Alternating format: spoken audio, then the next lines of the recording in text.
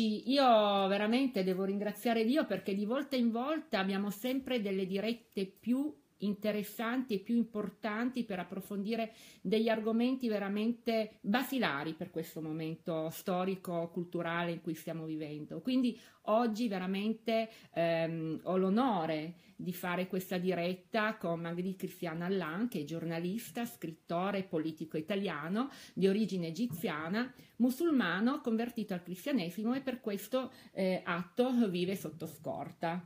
Eh, innanzitutto ringrazio io te Angela, eh, ringrazio il popolo della famiglia eh, che eh, mi offre questa opportunità.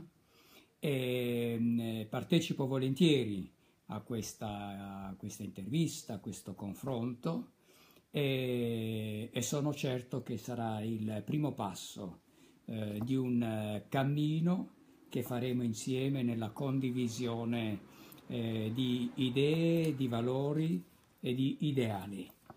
Guarda, già questo tuo esternare questa volontà di questo primo passo, eh, so, so, per certo che non solo riempie di gioia il mio cuore, ma sta già riempiendo di cuore centinaia di migliaia di am- amici che ci seguono. Ehm, però in, questa, in, questo primo incontro, perché poi spero, mi auguro che ne seguiranno anche tanti altri, eh, come primo momento, perché poi questo sarà un, un, un'intervista lunga, quindi prepariamoci amici, mettetevi comodi perché avremo tanti argomenti da affrontare, però voglio iniziare perché tu hai già scritto tanti libri, ma questo è un libro per eccellenza dal mio punto di vista ed è anche una novità per te, immagino, poi ce lo dirai meglio.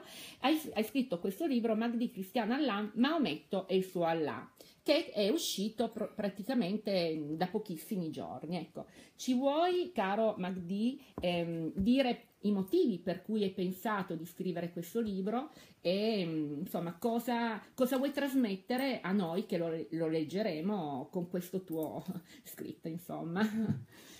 Eh, sono, sono, stato musulmano per 56 anni e, e ad un certo momento eh, prendendo atto della incompatibilità tra eh, una fede interiore che io ho sempre coltivato e che si sostanzia eh, di quei valori definiti correttamente non negoziabili da Benedetto XVI, che sono la sacralità della vita, eh, la pari dignità tra le persone, la libertà di scelta, a partire dalla libertà di scelta eh, religiosa, eh, eh, ho, ho, ritenuto eh, di eh, eh, prendere le distanze dall'Islam e facendolo ho preso atto che la maggioranza dei musulmani, me compreso, non solo non conosce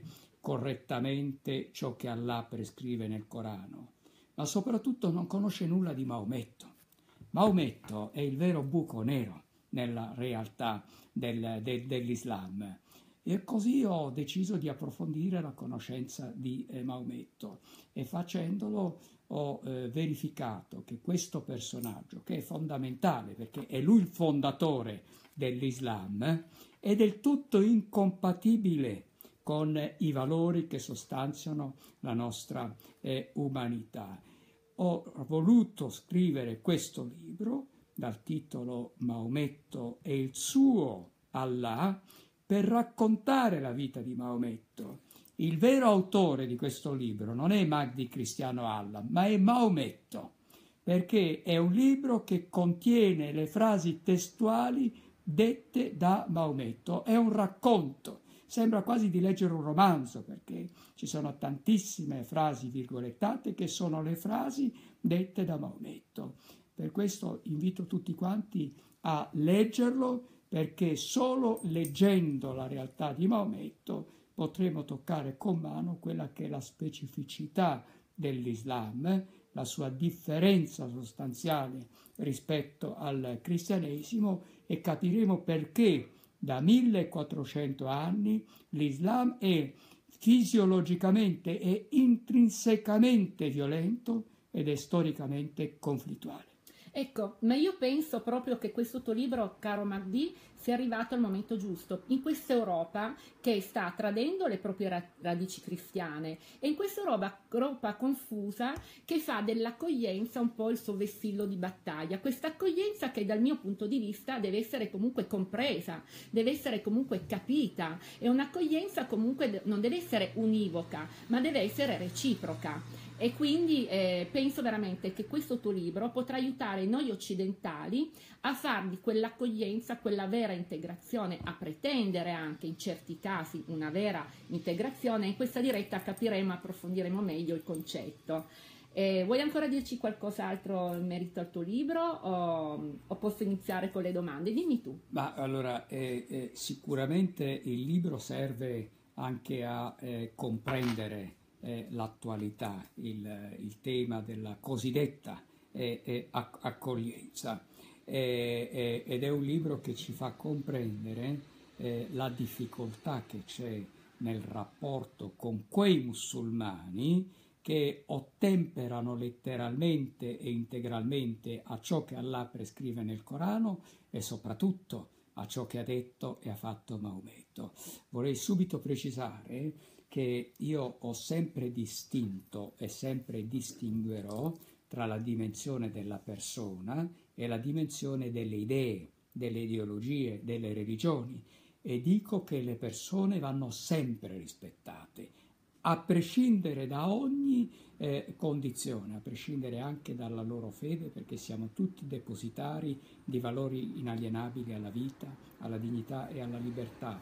Ma il problema vero è che noi siamo in un'Europa che eh, considera legittimo dire di tutto e di più nei confronti del cristianesimo, della Chiesa, del Papa, di Gesù Cristo, ma si è autoimposta di sospendere l'uso della ragione per non entrare nel merito dei contenuti dell'Islam. Ed è l'unica eccezione che viene fatta perché abbiamo paura di criticare il Corano, Maometto, Allah e l'Islam in generale. Ecco perché conoscere Maometto, leggendo la vita di Maometto, ci consentirà di poter affermare la verità salvaguardando la nostra libertà. Certo, la nostra... Eh libertà, le nostre radici, il futuro dei nostri figli, insomma, perché noi dobbiamo amare l'altro, ma dobbiamo amare anche, non possiamo amare l'altro più di noi, quindi per esatto. amare noi dobbiamo amare le nostre radici e, e i nostri figli, il nostro futuro, per poter in questo modo includere l'altro nella maniera più corretta possibile. Comunque, caro eh, Magdi, guarda, sfondi una porta aperta, perché hai appena detto, eh, io non giudico la persona, ma giudico eh, quello che avviene, esattamente come in, in, tutti i miei ospiti fanno questo, la dottoressa Silvana De Mari, che anche lei, poverina, è stata molto attaccata, lei non parla mai di omofilia accusando la persona che vive quella sua sfera, eh, ma eh, si parla della situazione, eh, proprio della, della, situazione che si crea con quell'azione. E la stessa cosa facciamo noi, attivisti del popolo della famiglia, quando noi difendiamo dei valori che sono legati alla famiglia piuttosto che alla vita o piuttosto di quelle ideologie di genere che vorrebbero prepotentemente introdurre nelle nostre scuole, ecco, noi non ci rivolgiamo mai contro le persone, ma stiamo analizzando il problema. Quindi guarda, ci troviamo veramente in linea. Però voglio anche farti un'altra domanda, proprio per questo Islam che è diventato così mm, una prepotente presenza, diciamo, nel nostro territorio a cui non eravamo molto abituati.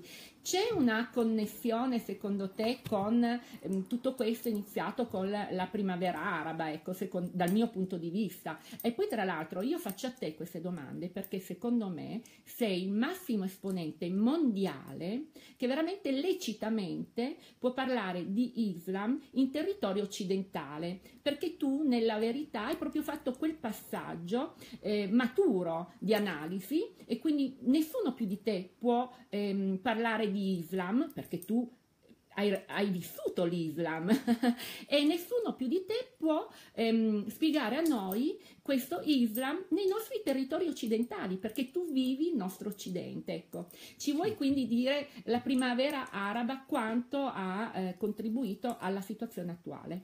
Ma è stata sicuramente una tappa fondamentale eh, nello, eh, nello, sconvolgimento eh, degli assetti in Medio Oriente.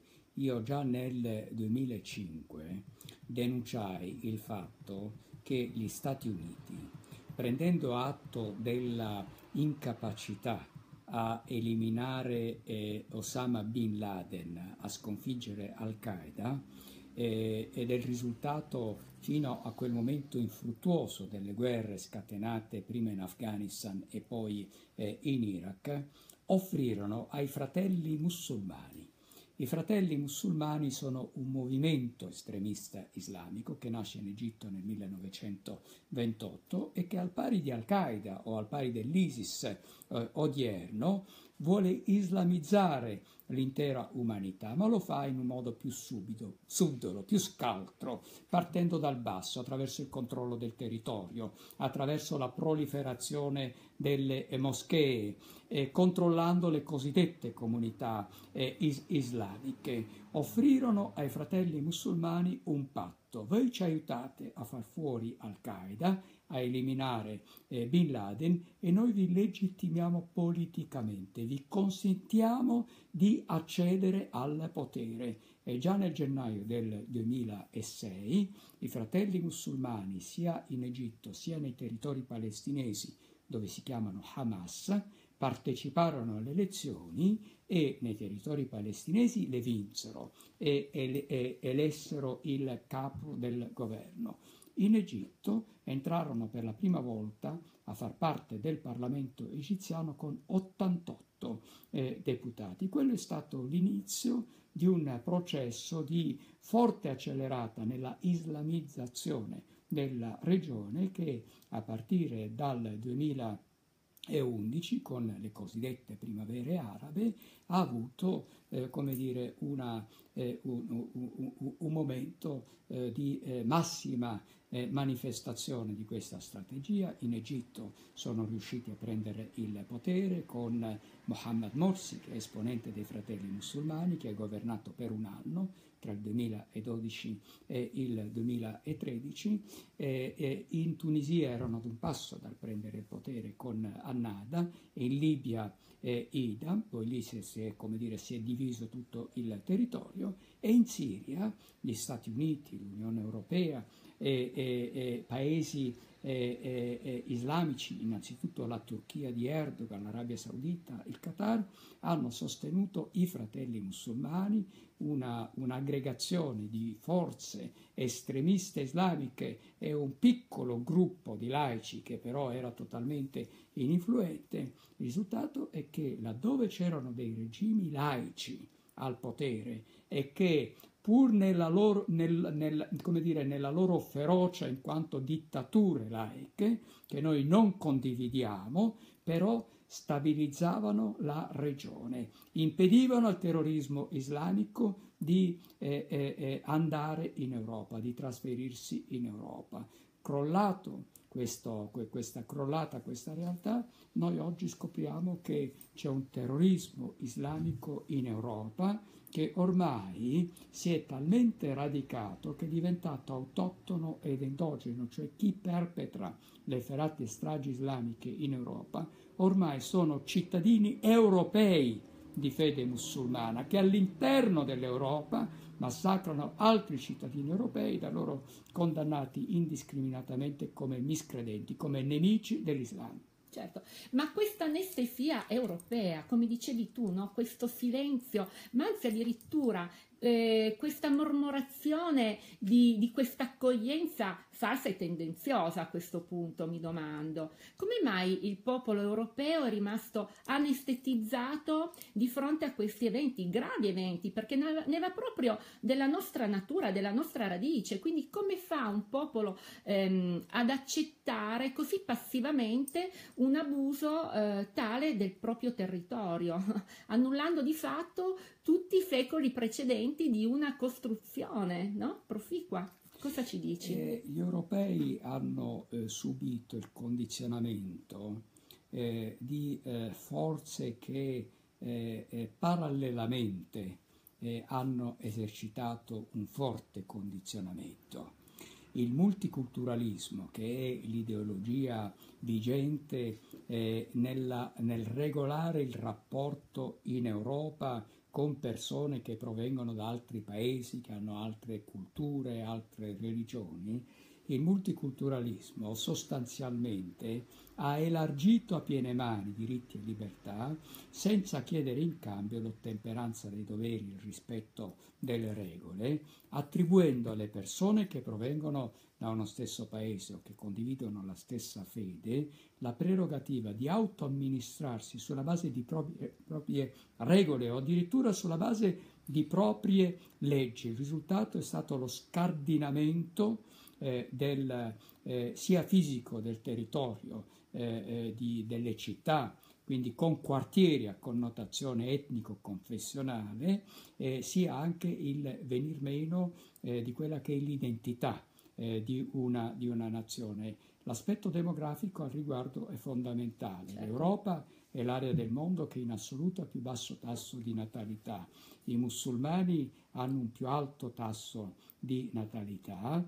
Eh, oggi, eh, eh, in aggiunta, siamo noi stessi che stiamo promuovendo una autoinvasione mm. e chi arriva sono prevalentemente islamici, quindi c'è anche il condizionamento demografico perché loro sono giovani, le popolazioni europee sono sempre più anziane, sono quindi più fragili, più svantaggiate. Abbiamo il, un cagnolino, esatto. ma è dolcissimo. e, il, e, il, e il risultato è, è, è che eh, gli europei si stanno assuefando un po' alla volta.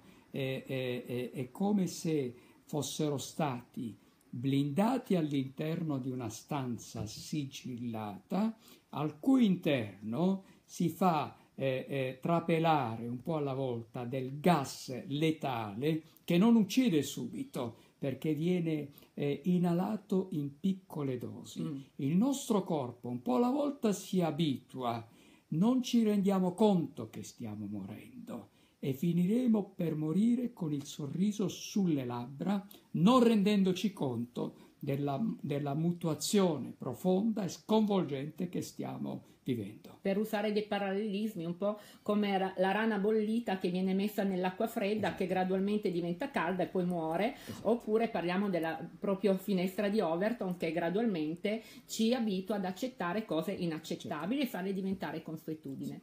Comunque, tornando alla nostra cara e amata Europa, che purtroppo è gestita da folli, permettimi la parola un po' forte, no? Cosa ne pensi tu de- dell'assetton eh, Macron e Merkel eh, per quest- che alla fine decidono loro. E l'influenza che l'Italia, che influenza non ha, può avere in base a queste decisioni, ma soprattutto questo assetto Merkel-Macron, quando la Merkel giusto ieri ha detto che, mm, ipocritamente perché poi di fatto non è vero, però lei ha eh, così ufficializzato che non metterà mai un tetto limite agli, agli, immigrati, quindi la Merkel, mentre Macron dice no agli immigrati. Quindi che assetto si può raggiungere in questa Europa così svarionata? Questo è un altro termine non molto televisivo, diciamo, ma è giusto per far capire il concetto Sì, ma a, a, quei livelli eh, nulla accade per caso. E, e siamo eh, in un mondo in cui il eh, vero potere forte è la grande finanza speculativa globalizzata.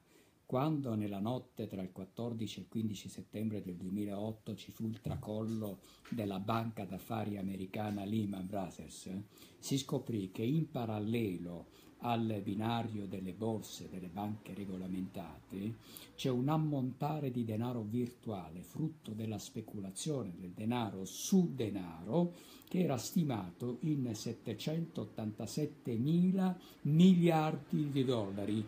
Sono 12 volte il PIL eh, mondiale.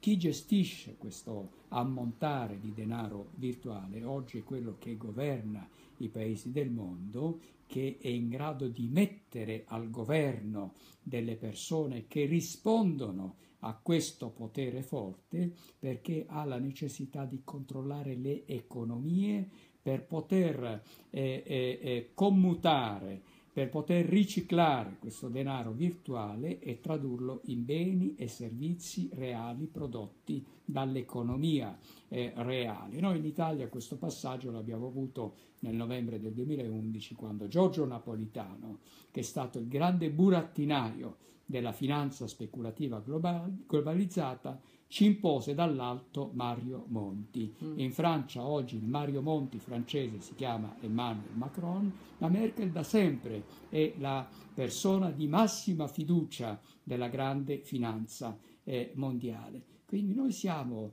eh, eh assoggettati a questo potere forte che vuole a livello demografico promuovere una umanità omogeneizzata, omologata all'insegna del meticciato, abbattendo gli stati nazionali, abbattendo le identità nazionali e localistiche e facendo sì che sostanzialmente ciascuno di noi sia ridotto a semplice strumento di produzione e di consumo della materialità. Quindi dal loro punto di vista che in Italia nel 2050 continui ad esserci una, continuerà ad esserci una maggioranza di cittadini italiani o ci sarà invece una presenza sempre più cospicua di cinesi e di islamici, non fa nessuna differenza. L'importante è che si sia strumento di produzione e di consumo della materialità. Ecco perché, anziché investire nell'aiutare le famiglie italiane, nell'aiutare le madri italiane, nell'aiutare i giovani italiani, affinché attraverso la stabilità lavorativa possano ergersi a rigeneratori di vita, mettere al mondo i propri figli, investono per spalancare incondizionatamente e illimitatamente le frontiere, per portare dei giovanotti di cui non sappiamo neppure chi siano in realtà, perché sono lo strumento umano non solo di una autoinvasione, ma soprattutto della sostituzione etnica della nostra società ed è quello che porrà fine, che condannerà a morte la nostra civiltà, che è laica e liberale, dalle radici ebraico-cristiane.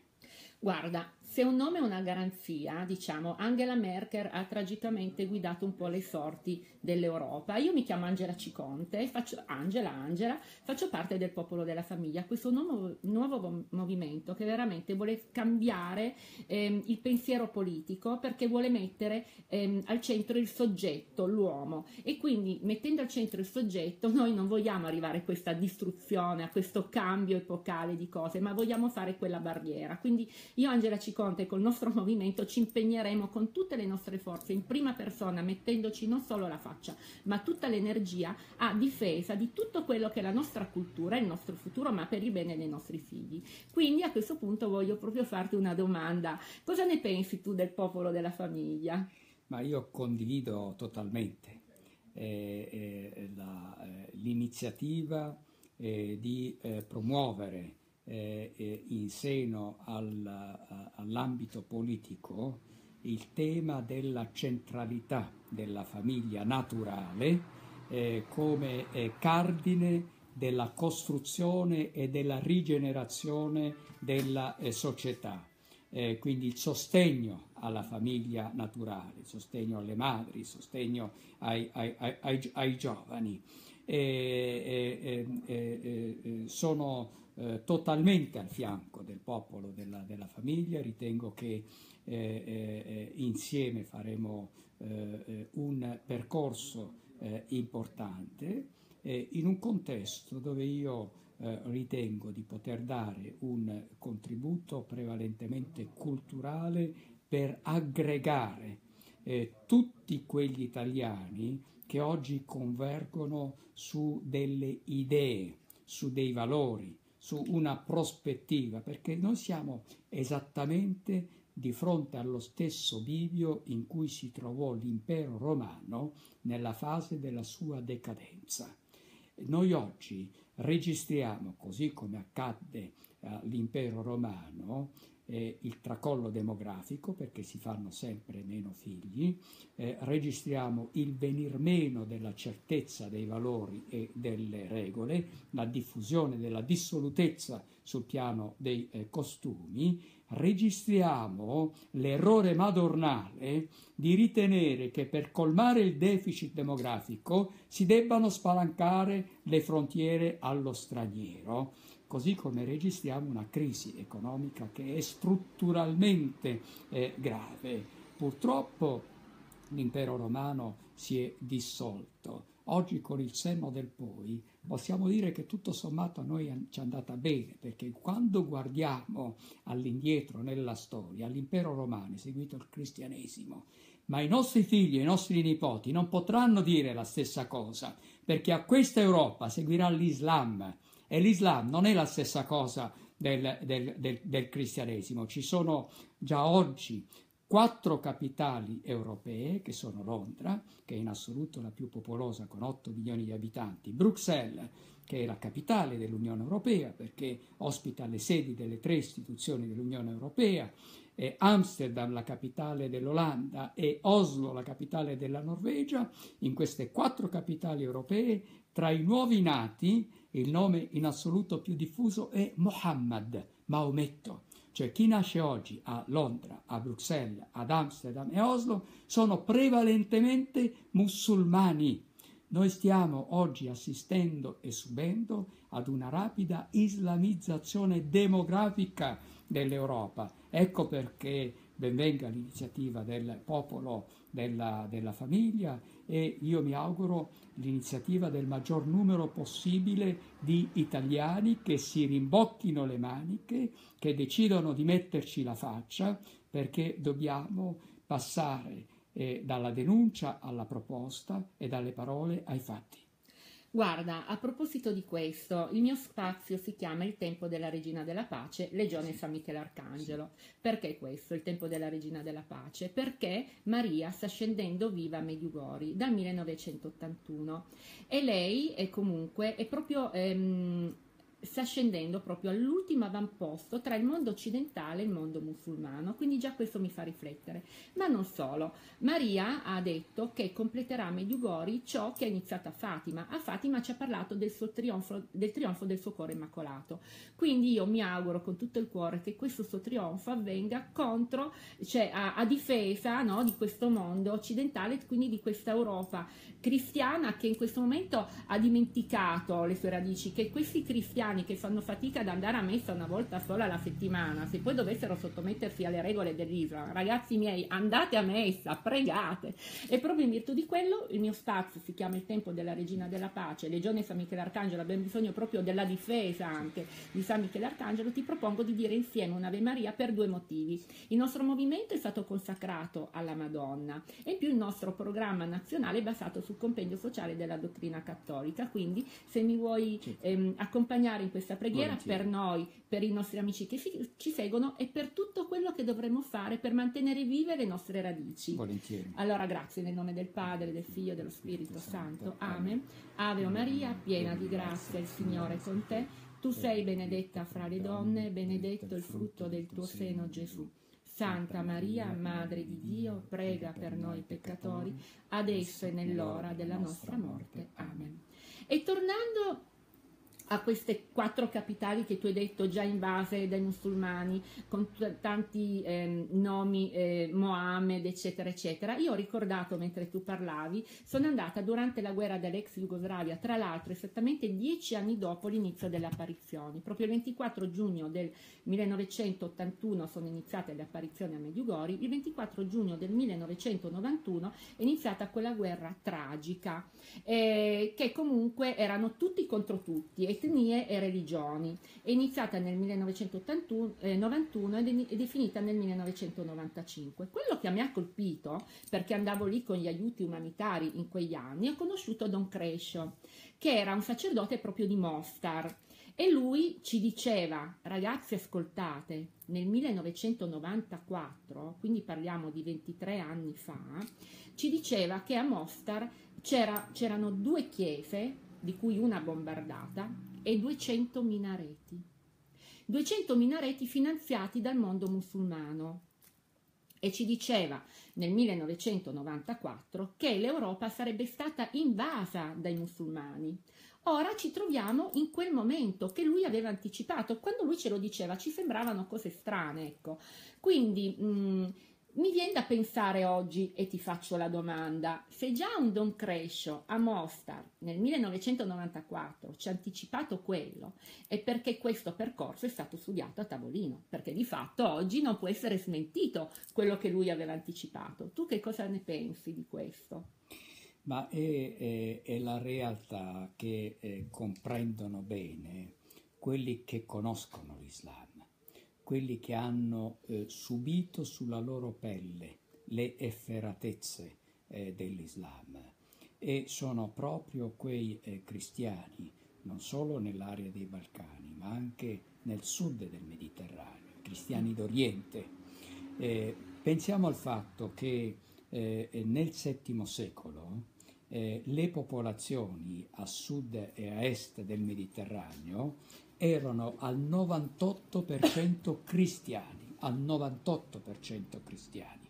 Oggi sono solo al 3% eh, cristiani. I cristiani sono scomparsi sulla sponda meridionale e orientale del Mediterraneo non perché hanno fatto i cattivi, non perché si sono comportati eh, male, ma perché sono stati invasi, eh, hanno subito una violenza da parte di eserciti islamici eh, che eh, ha ritenuto che eh, eh, eh, eh conquistare all'Islam fosse un imperativo. E tutto questo è accaduto in meno di 200 anni dopo la morte di Maometto avvenuta nel 632, così come in meno di 200 anni gli eserciti islamici invasero la Spagna e ci sono rimasti per otto secoli, invasero la Sicilia e ci sono rimasti per quasi quattro secoli.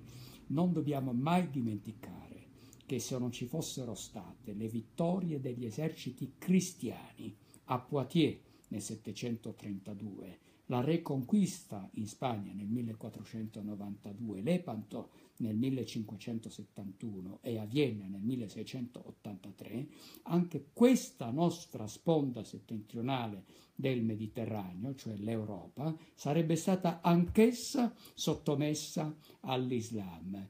Ebbene, quello che non si è riusciti a fare in passato con le armi, con gli eserciti, oggi lo stanno facendo con la demografia, ma aggiungo attraverso anche il lassismo, il buonismo, il relativismo valoriale, il relativismo giuridico di una Europa che non solo ha dimenticato le proprie radici cristiane, ma si vergogna delle proprie radici cristiane ed è un'Europa che ormai si concepisce come una sorta di terra di nessuno e di fatto si è trasformata in una terra di conquista. Quindi con quello che hai detto adesso eh, non solo sta avvenendo quello che ha detto Don Crescio, ma anche quello che ha detto Oriana Fallaci, che ci stanno conquistando col ventro delle loro donne perché i ventri delle nostre donne sono, state, eh, sono, stati, sono diventati mortiferi per le vite dei nostri cittadini. Ma di questo parleremo fra poco, eh, perché poi io voglio andare poi a toccare un argomento che mi sta sempre a cuore. Però prima voglio parlare di un'altra cosa. Ancora prima che avvenisse questa invasione di massa, e mm, io da donna, l'ho già detto in altre dirette, mm, e, e, non lo dico solo adesso perché ci sei tu, perché è proprio una cosa che ho vissuto ed è una cosa che mi ha sempre turbata profondamente. Io ho un po' eh, questa apertura verso l'altro, a me anche se non conosco le persone mi piace rivolgergli un sorriso, un contatto, ecco, perché dal contatto visivo per me inizia proprio un rapporto di reciprocità. Ecco, una cosa che mi ha sempre colpita è come? Parlo da donna perché potrei capire un uomo che guarda una donna musulmana, per carità lo so, ma da donna a donna io in questi anni è proprio una cosa che si ripete costantemente, non ho mai avuto come dire una risposta diversa. Ogni volta che rivolgo uno sguardo accogliente nei confronti di una donna musulmana, io non ricevo mai lo sguardo di risposta, cioè io vedo proprio che non esisto ai loro occhi. Allora io mi domando, ma se l'integrazione dei mondi avviene proprio attraverso un primo contatto che è quello visivo, se non riusciamo ad avere da loro quest- questa visibilità ai loro occhi, che fiducia, che speranza possiamo avere di questa, eh, di questo ipotetico amalgamento delle culture, se non riusciamo nemmeno a guardarci negli occhi? Tu cosa ne pensi? E, purtroppo eh, viviamo in un'epoca storica dove eh, c'è stata una eh, profonda involuzione anche sul piano rapport- del rapporto personale, sul piano dei costumi, sul piano della, della spiritualità. Eh, io ho avuto la fortuna di eh, eh, nascere e di vivere i miei primi vent'anni in un paese, l'Egitto, eh, quando c'era una realtà laica, quando la società era, era, laica, le leggi che governavano il paese erano leggi laiche, dove c'era una maggiore tolleranza, un maggior rispetto anche tra persone che avevano fedi diverse. Eh, per quanto la mia famiglia fosse musulmana, eh, eh, non ebbe alcuna esitazione, mia madre in particolare, che fu quella che mi accudì dopo la separazione avvenuta dal marito, da mio padre, avvenuta poco dopo la mia nascita, non ebbe alcuna remora a inserirmi in una scuola italiana cattolica al Cairo dall'età di quattro anni.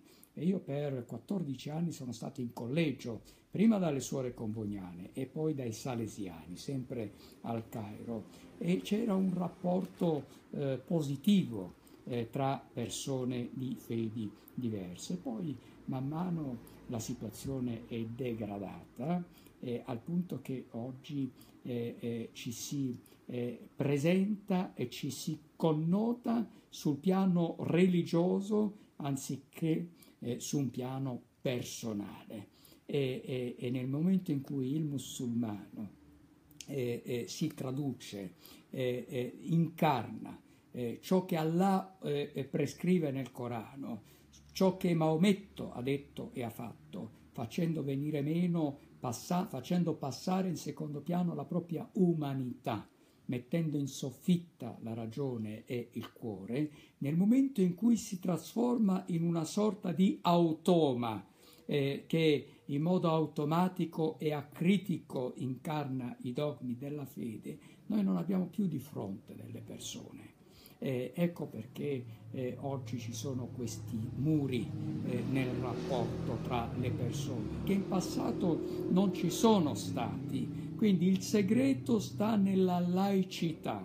Ecco perché noi dobbiamo affermare non soltanto di fronte a casa nostra, ma anche dentro casa nostra, un contesto di laicità dove eh, i musulmani che scelgono di condividere questo nostro spazio eh, fisico devono aver chiaro che questo è anche uno spazio giuridico, è anche uno spazio valoriale, è anche uno spazio spirituale e dove pertanto devono rispettare le leggi dello Stato, devono rispettare le regole su cui si fonda la civile convivenza devono condividere quei valori che sostanziano la nostra civiltà. Bene, guarda, veramente io sei un do- oggi sei un dono, un dono immenso, perché veramente ci stai eh, dicendo con semplicità delle cose che per noi sono veramente difficili da capire, perché eh, appunto non essendo la nostra cultura e tutto quanto, sì. è un po' ostica come materia, diciamo così. Ma adesso vado a toccare sì. due spine che ho nel fianco. Sì. Boldrini Bonino. allora, noi diciamo, quando uno non sa le cose, gli fai domanda, ma tu sai, boh, non so, boh. Sarà che Boldrini Bonino, tutti e due iniziano per boh, non sanno quello che fanno, dico io. allora, cominciamo ad analizzare la Boldrini. La Boldrini, praticamente, proprio cosa di questi giorni, sta invocando una legge sulla cittadinanza, perché secondo quello che dice lei, se questi mh, stranieri, che per lo più sono musulmani, eh, si sentono quindi eh, inclusi nella nostra società, diventano più, più, partecipi e non solo quindi invoca lo ius sanguinus, ma adesso sta invocando anche lo ius soli. Cosa ne pensi di questa, di questa cosa, come dire, cristianofobia al contrario che a lei nei nostri confronti? cioè tutto quello che è Occidente, lei lo, lo allontana, dici un po' cosa ne pensi di questa. Ma eh, eh, a me sembra eh, evidente che sia la eh, Presidente della Camera Boldrini, eh, sia l'ex Ministro degli Esteri Emma Bonino, appartengono entrambe a quel fronte della finanza speculativa globalizzata, o fanno comunque riferimento a quella realtà, ne promuovono le istanze a partire eh, dalla eh, omologazione eh, dell'umanità, dalla promozione di un meticiato anche in senso antropologico, nel, eh, da intendersi come la condivisione eh, di, eh, di, di, di, stessi, tra virgolette, valori e, e, e regole. la Boldrini si sta spendendo in prima persona da anni per favorire questa autoinvasione dell'Italia, già da quando era la portavoce del, eh, del, del, della, dell'Organizzazione delle Nazioni Unite che si occupa del tema dei, dei, dei, dei rifugiati. E, fu lei nel 2012 a promuovere un documento noto come la Carta di Roma che eh, obbliga i giornalisti a non usare certi termini, tra cui clandestino. Eh, tu da giornalista ne sai qualcosa no? di certo. queste cose, quindi c'è, con altrettanta competenza ci puoi spiegare bene anche questa parte. Certamente. Dici pure, quindi non possiamo dire sì. clandestini. Eh, esatto, le, eh, eliminare un, un termine che, ha, che rappresenta correttamente la realtà di chi entra nel paese sprovvisto di documenti ha finito per legittimare questa, questa realtà eh, oggi in Italia si dà per scontato che si può entrare in Italia sprovvisti di documenti, eh, laddove eh, in qualsiasi stato del mondo è reato.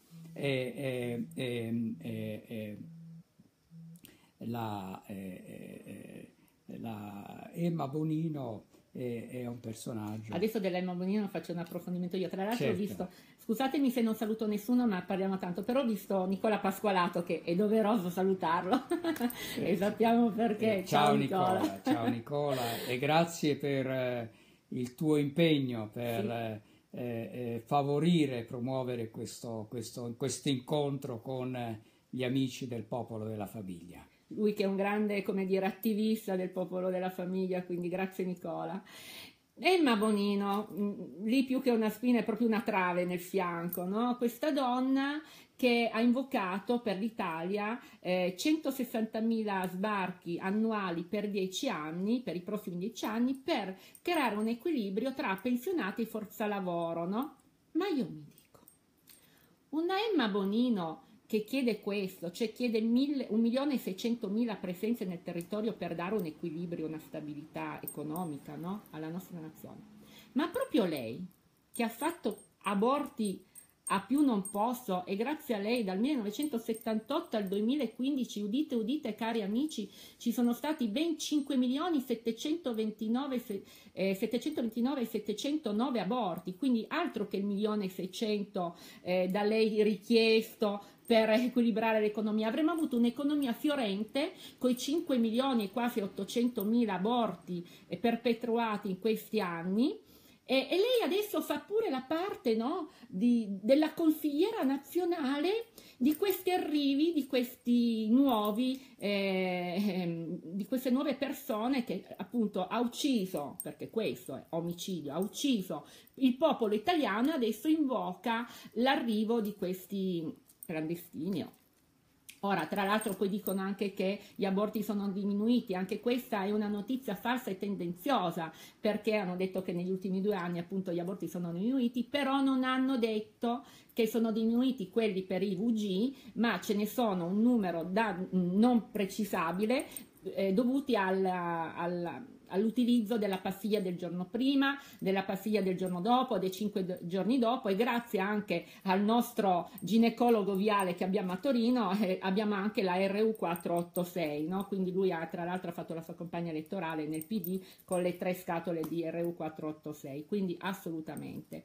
Ma non solo parliamo di 5 milioni 800 mila aborti eh, in Italia, ma parliamo di 58 milioni all'anno nel mondo, quindi altro che forza lavoro da prendere in questi territori nuovi, no? avremmo avuto ognuno il nostro. Ma cosa ci dice ad esempio la Bonino, giusto per indorare la pillola? No? Che questi eh, 8 milioni arrivati ultimamente di eh, stranieri producono l'8% del PIL, eh, del 2014 stiamo parlando, hanno pagato pensioni a 640 mila italiani, hanno dato addirittura a questi stranieri imprese e forza lavoro a noi italiani, cioè noi dobbiamo ringraziare lei che ha ucciso 5 milioni e 800 persone adesso italiane, ne sta facendo arrivare un milione 600.000 eh, prevalentemente musulmani, che si degneranno di darci lavoro, grazie, grazie, la ringraziamo tutti, eh. e non solo, adesso novità delle novità, è stata invitata, e qua la confusione anche un po' della Chiesa, da un sacerdote il 26 è stata, è stata, invitata il 26 luglio, che è la giornata mondiale del rifugiato, a parlare in una chiesa. Avete per titolo la presentazione della campagna Ero straniero, umanità, l'umanità che fa bene, nome per niente, come dire, che, che confonde proprio per niente eh, al fine di superare la Bossi-Fini attraverso l'inclusione sociale e lavorativa degli immigrati. Meno male c'è l'amico Giorgio Celsi che farà un sit-in attraverso l'associazione Ora Elabora in difesa della vita che dalle 11, sempre del 26 eh, luglio, dalle 11 alle, alle 16 davanti alla Curia di Biella si farà un sit-in giusto per dire ma ci siamo o ci facciamo un attimo.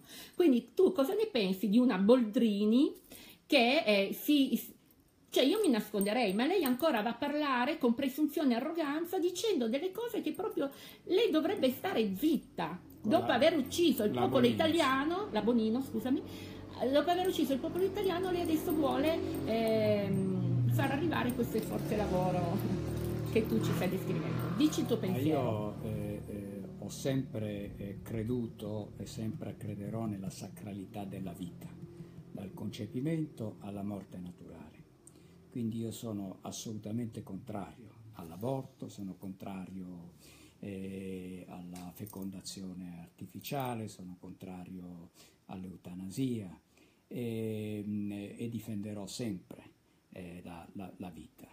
E, per la verità eh, c'è una strategia globale che eh, vuole promuovere eh, questa autoinvasione. Nel disegno di programmazione economica del 2016, quindi parliamo di un atto governativo dello Stato italiano, si precisa in un passaggio che l'Italia dovrebbe accogliere oltre 300.000 persone ogni anno. 300.000 persone ogni anno. Cioè non, non c'è nulla che accade per caso sia la Boldrini sia la Emma Bonino, operano nel solco di una strategia che è eh, eh, dettata dal grande, eh, eh dalla grande finanza speculativa globalizzata.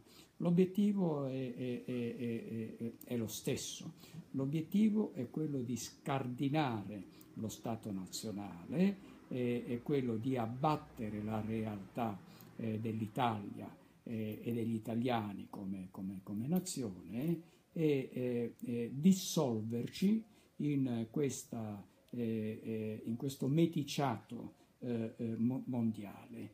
Ed è una strategia che ha anche dei padri, come dire, dei padri fondatori, de, degli ideologi, a partire dal conte Kudenhove Kalerci, che già nel 1924 in un suo testo dal titolo Idealismo pratico, eh, eh, previde che le popolazioni degli Stati Uniti d'Europa, lui è stato il pioniere eh, eh della, del, del, concetto di Stati Uniti d'Europa, è stato il primo a usare questo, questo termine, disse che le popolazioni degli Stati Uniti d'Europa non saranno le popolazioni autoctone europee, ma una razza mista euroasiatica negroide, sono sue parole, 1924. Il premio Carnegie è stato attribuito ad Angela Merkel, è stato attribuito all'attuale presidente della Commissione europea,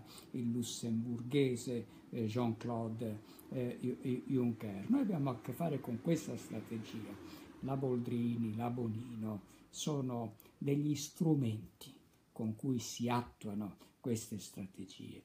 Quindi se noi vogliamo scardinare queste strategie, più che, eh, tra virgolette, prendercela con la Boldrini o con, con la Bonino, dobbiamo affrancarci da quelle logiche che oggi ci stanno eh, eh, sottomettendo alla dittatura finanziaria, alla dittatura informatica, alla dittatura relativista e alla dittatura immigrazionista.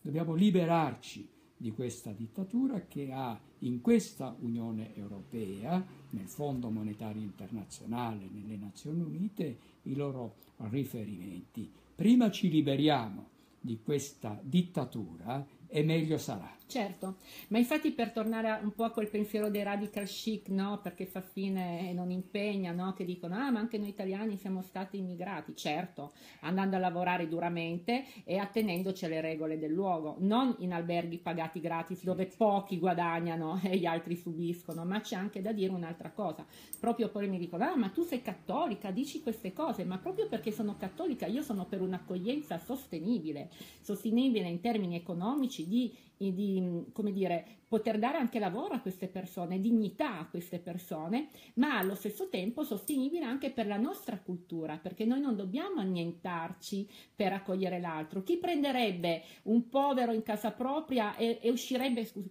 scusa, da, da, casa propria, abbandonando la propria casa? No, noi possiamo accogliere i nostri i poveri in casa nostra se abbiamo la forza per poter sfamare loro e i nostri figli, quindi quella è un'accoglienza sostenibile e non interesse per pochi. Allo stesso tempo mi dicono, ah ma tu sei cattolica, anche Gesù, eh, anche Giuseppe e Maria sono stati, eh, sono stati stranieri, ter- tra l'altro nella tua eh, terra in Egitto, no? Certo, ma io ricordo che, che Giuseppe lavorava e Maria accudiva suo figlio e accudiva la casa, quindi era un'integrazione nel luogo senza portare tutto quello che sta portando questa questa, come dire, questo arrivo di massa mal gestito eh, da tutti quanti. Allora, prima di farti delle domande botta e risposta, perché adesso il tempo sta passando, voglio ancora farti due domande importanti e poi andiamo un po' più veloce, amici. Tra l'altro, se volete fare un condividi, attivate le notifiche, vi ringraziamo, così anche altri amici possono seguirci, perché in particolare questo veramente è un momento importante di ascolto, perché si sono dette cose, ha detto, cose fondamentali per la nostra informazione. Allora, che cosa ci dici? Ah, tra l'altro, no, prima di farti la domanda voglio che... Perché eh, sono stata un po' contattata da, da, tanti amici. Ah, ma tu adesso parli con Magdi Allam, ma lui era cristiano, adesso non è più cristiano. Ecco, spiegaci un attimo, tu no, non mi hai detto che non sei più cristiano, hai detto che hai sospeso, spiegaci un po' meglio tu la tua situazione attuale del momento, ma io ripeto, io faccio tra l'altro informazione inerente all'argomento trattato. L'argomento trattato oggi è il libro di Magdi, che è Maometto e il suo Allah, stiamo analizzando ehm, questo arrivo di massa di uomini adulti musulmani nel nostro territorio, però effettivamente proprio perché il mio spazio, lo spazio dedicato a Maria, vorrei che chiarissi, a me l'hai già fatto prima, ma chiarissi anche ai nostri amici la tua posizione ehm, nei riguardi della nostra fede attuale. E no. poi ti faccio altre due domande dopo. Volentieri, volentieri. In realtà io l'ho, eh, l'ho chiarita subito da quando nel 2013 ho esternato una mia grande preoccupazione. Ho chiarito che la mia fede in Gesù Cristo, eh, vero Dio e vero uomo, nato, morto e risorto, eh, quella c'è e quella, e quella rimane. E, e, eh, sono eh, eh, parallelamente perplesso sulle posizioni assunte dalla Chiesa, soprattutto dalla Chiesa di Papa Francesco, rispetto a due temi in particolare. Il primo tema è la legittimazione dell'Islam come religione, che è cosa diversa dalla, eh, dalla, dalla, dal rapporto con i musulmani come persone. Il cristianesimo si fonda sull'amore nei confronti del prossimo, eh, eh, eh, l'amore nei confronti del prossimo è il comandamento nuovo che ci ha portato Gesù. Quindi come cristiani siamo tenuti ad amare tutti, compresi i musulmani, a prescindere da qualsiasi altra considerazione, ma cosa diversa è partendo dal doveroso rispetto laico e amore cristiano nei confronti del prossimo, è legittimare la religione del prossimo, a prescindere dai suoi contenuti, a prescindere dal fatto che l'Islam non si concepisce come una religione diversa dall'ebraismo e dal cristianesimo, ma come la religione superiore che corregge l'ebraismo e il cristianesimo che vengono condannate come miscredenze, come delle eresie. In particolare il cristianesimo viene condannato come politeismo perché si ritiene che la fede nella Trinità sia politeismo. Io pertanto non posso in alcun modo, oltretutto dopo essere stato musulmano per 56 anni, non posso in alcun modo accettare che oggi la Chiesa legittimi l'Islam come religione mettendolo sullo stesso piano del cristianesimo ogni qualvolta il Papa dice noi adoriamo lo stesso Dio, preghiamo lo stesso Dio, quando dice che tutte le religioni sono religioni di pace e di amore eh, eh, nei confronti del prossimo. La mia seconda perplessità è l'enfasi con cui Papa Francesco eh, si rapporta sul tema della cosiddetta accoglienza nel momento in cui la stragrande maggioranza di quelli che noi accogliamo sono prevalentemente musulmani, sono musulmani. Quindi eh, l'accoglienza di fatto è lo strumento con cui si sta islamizzando demograficamente eh, l'Europa.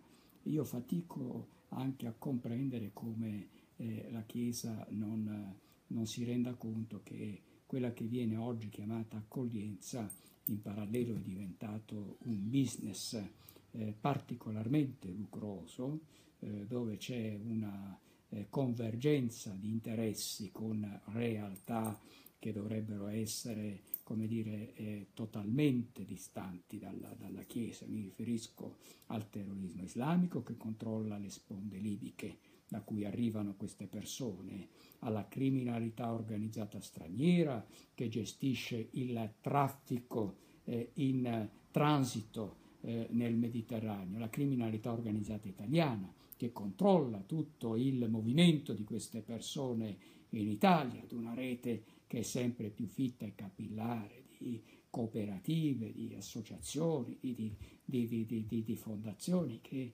stanno realizzando dei profitti eh, che non hanno precedenti, oltretutto senza neppure l'obbligo della rendicontazione della loro, della loro attività. È tutto questo insieme che mi rende perplesso.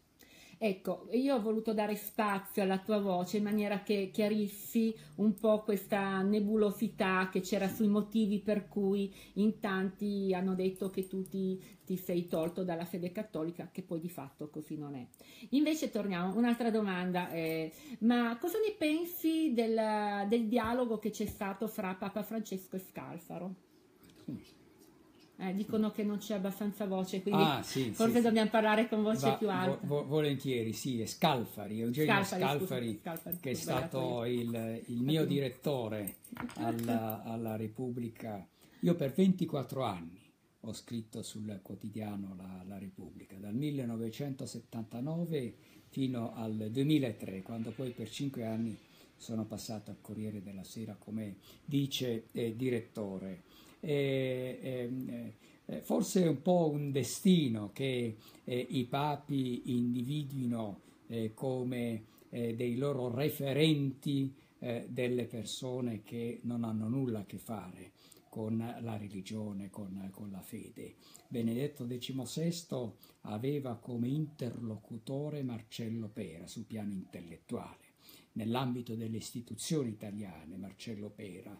Papa Francesco ha individuato Eugenio Scalfari. C'è una differenza fondamentale però, che Marcello Pera eh, è un filosofo, Marcello Pera è, è, è, una persona, un intellettuale che è a tal punto intellettualmente onesto da affermare che la sua libertà intellettuale si deve al cristianesimo che senza il cristianesimo lui non potrebbe essere eh, ciò, che, eh, ciò, che, è.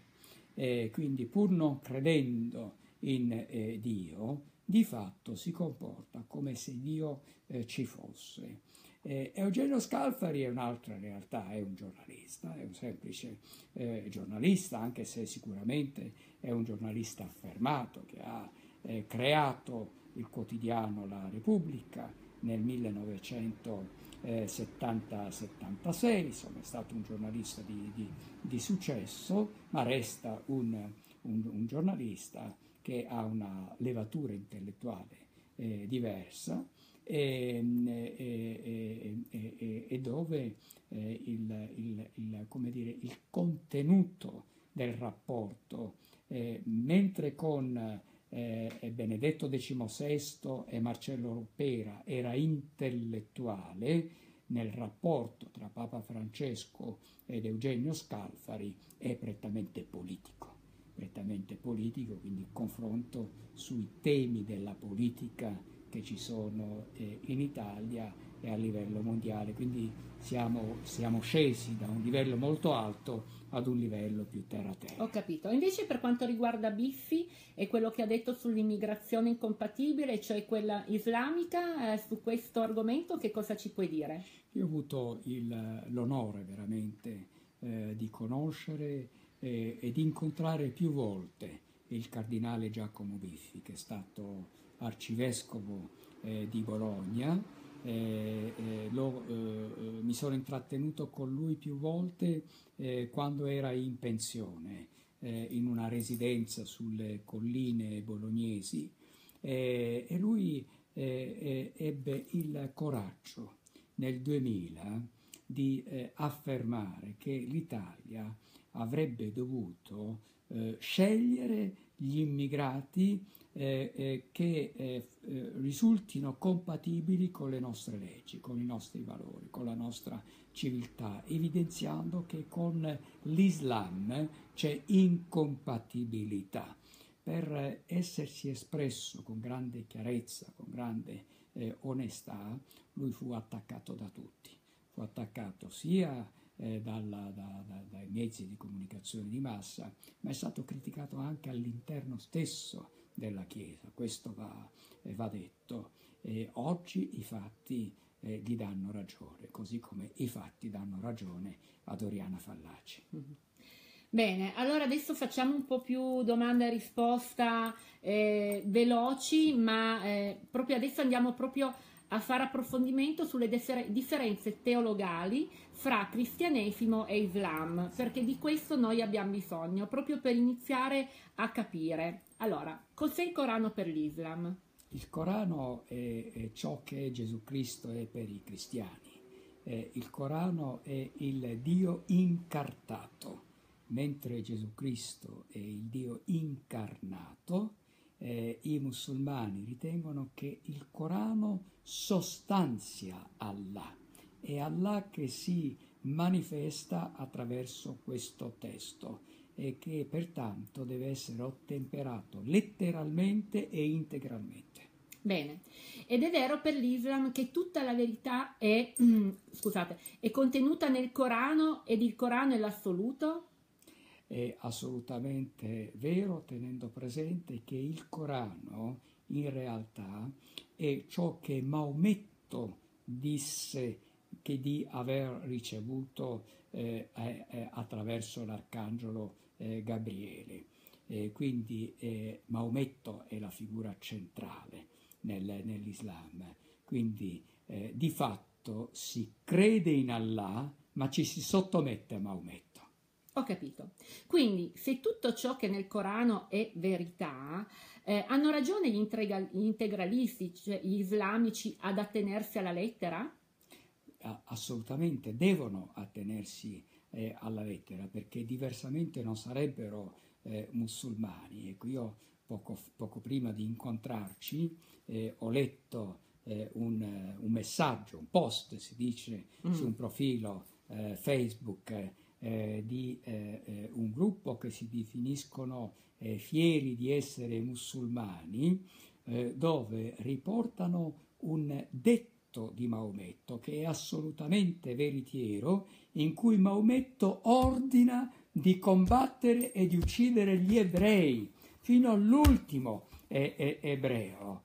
E, e, e, e, lo fanno con grande onestà perché ciò che Maometto Cristo ha detto e ha fatto per i musulmani. È ordine, ma noi abbiamo il dovere di prendere posizione perché il nostro riferimento devono essere le nostre leggi, devono essere le nostre regole, i nostri valori e dobbiamo chiarire loro che in Italia e in Europa non è assolutamente ammissibile ordinare di combattere e di uccidere gli ebrei in quanto ebrei. Ecco, ricordiamoci che noi cattolici abbiamo i martiri, eh?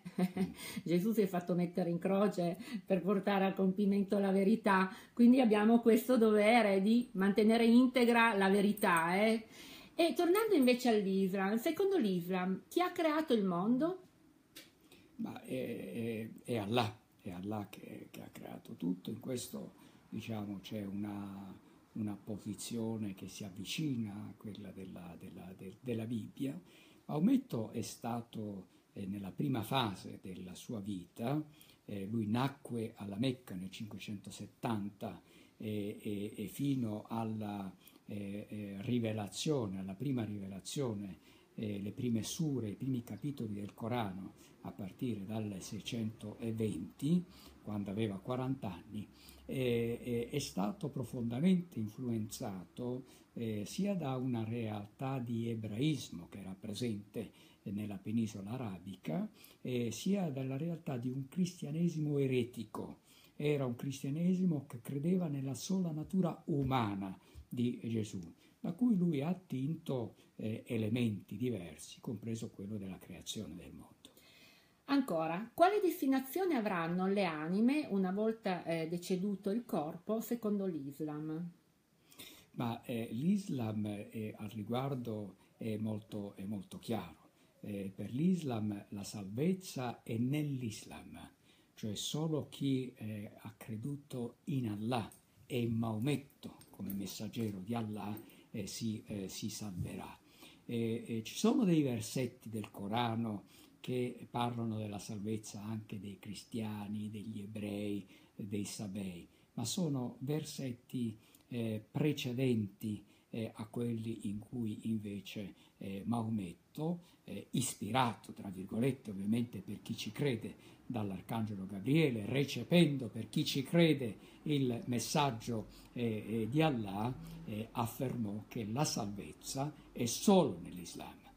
Allora, adesso ti farò una domanda, però prima di farti la domanda rispolverò la memoria a noi cristiani, nel senso che noi abbiamo una sola vita, quando moriremo poi saremo destinati eh, inferno, purgatorio o speriamo paradiso e che comunque ehm, eh, Dio ci giudicherà in base a, a, quello che noi avremo compiuto nella nostra vita, quindi scegliere fra il bene e il male e comunque abbiamo il dovere di essere il sale della terra, quindi anche qua noi in questo momento storico non dobbiamo essere quelli indifferenti, fanno gli altri, perché ognuno di noi dovrà rispondere delle proprie scelte, delle proprie azioni e quindi chi sarà, non sarà il sale della terra sarà poi vomitato no? da Dio. Allora invece la domanda che voglio farti mh, mm, per quanto riguarda l'Islam, quale destinazione avranno le anime una volta deceduto, no, no, no, eh, scusami, eh, quello l'ho già fatta. Tutto si compirà nell'aldilà oppure ci saranno nuove forme di vita eh, come reincarnazione o altro per voi eh, musulmani? Eh, per, per, i musulmani. Sì, non, per, no, non, scusami, per i musulmani. Per, per i musulmani. Sono un po' stanca. Sì, no, no, tranquilla.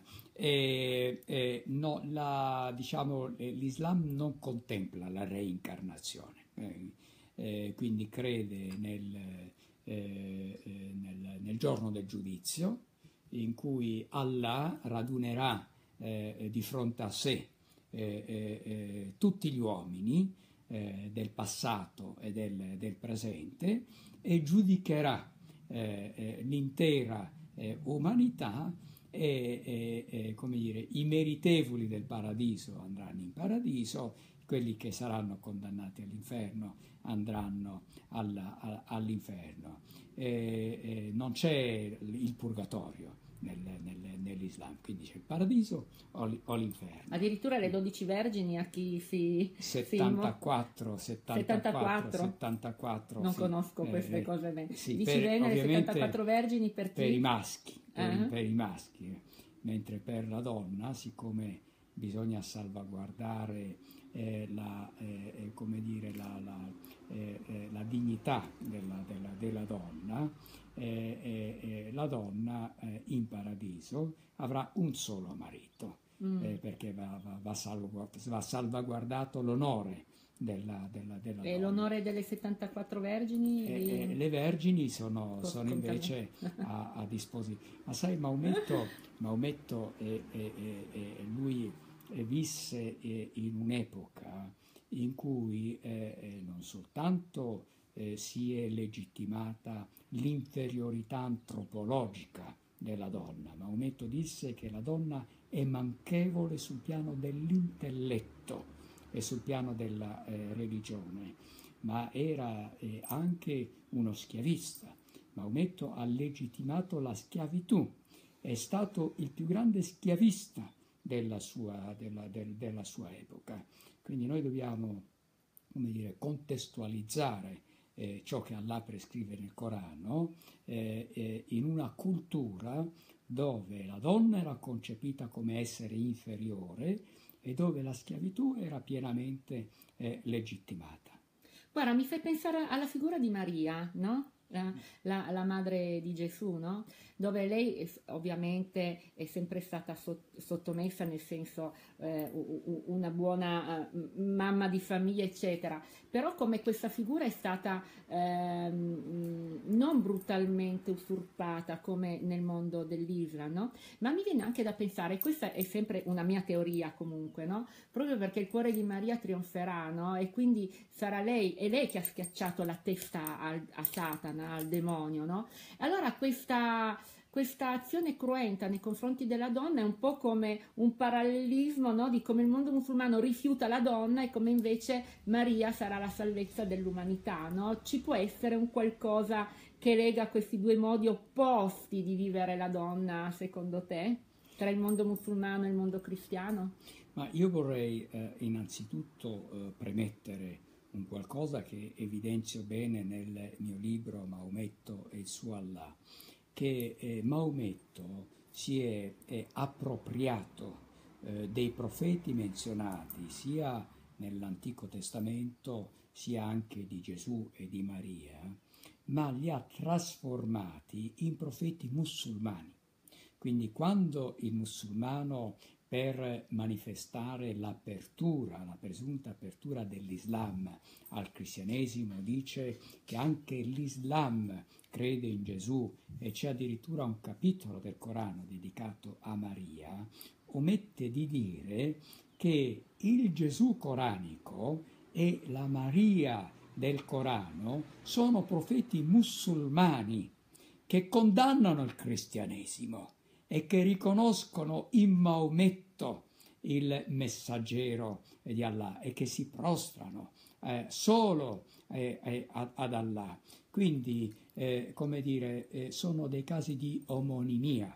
Non è in alcun modo il Gesù cristiano, né è la Maria Vergine, la Madonna eh, del, del, del, del, cristianesimo. chiarito questo, è del tutto evidente che la, la, la, la visuale eh, del, del, delle donne nell'Islam è la, visuale di un essere inferiore, di un essere eh, sottomesso, che, eh, come dire, eh, a cui si riconoscono dei diritti, ma da intendersi come il diritto a ricevere alimentazione, il diritto a poter eh, come dire, eh, avere eh, ciò che serve per, per sopravvivere, eh, ma è, è, una concezione eh, di un essere inferiore, ad esempio Allah nel Corano prescrive che la testimonianza della donna vale la metà della testimonianza dell'uomo che la donna eredita la metà di ciò che spetta all'uomo. Ecco perché anche la figura di Maria nell'Islam non potrebbe mai emergere come eh, eh, la, la, la, così come emerge in seno al cattolicesimo. Eh, specifichiamo il cattolicesimo perché la, la, devozione alla Vergine Maria è un qualcosa che appartiene in modo forte al cattolicesimo. Bene, proseguiamo con le domande. Il Corano ci rivela verità oppure sono dogmi definiti da Maometto? eh, ehm, eh, sono eh, assolutamente eh, dei, dei, dei, dogmi affermati da, da Maometto che si scontrano con la ragione. Cioè, mentre il cristianesimo, che eh, eh, si, si, fonda sulla fede in Gesù Cristo, vero Dio e vero uomo, dove pertanto c'è la dimensione trascendente della fede, ma c'è anche la dimensione umana della ragione, dove fede e ragione convivono in modo armonioso e dove noi possiamo usare la ragione per entrare nel merito dei contenuti della fede. L'Islam invece, essendo la fede nel Dio che si incarta nel Corano, viene meno la dimensione della ragione.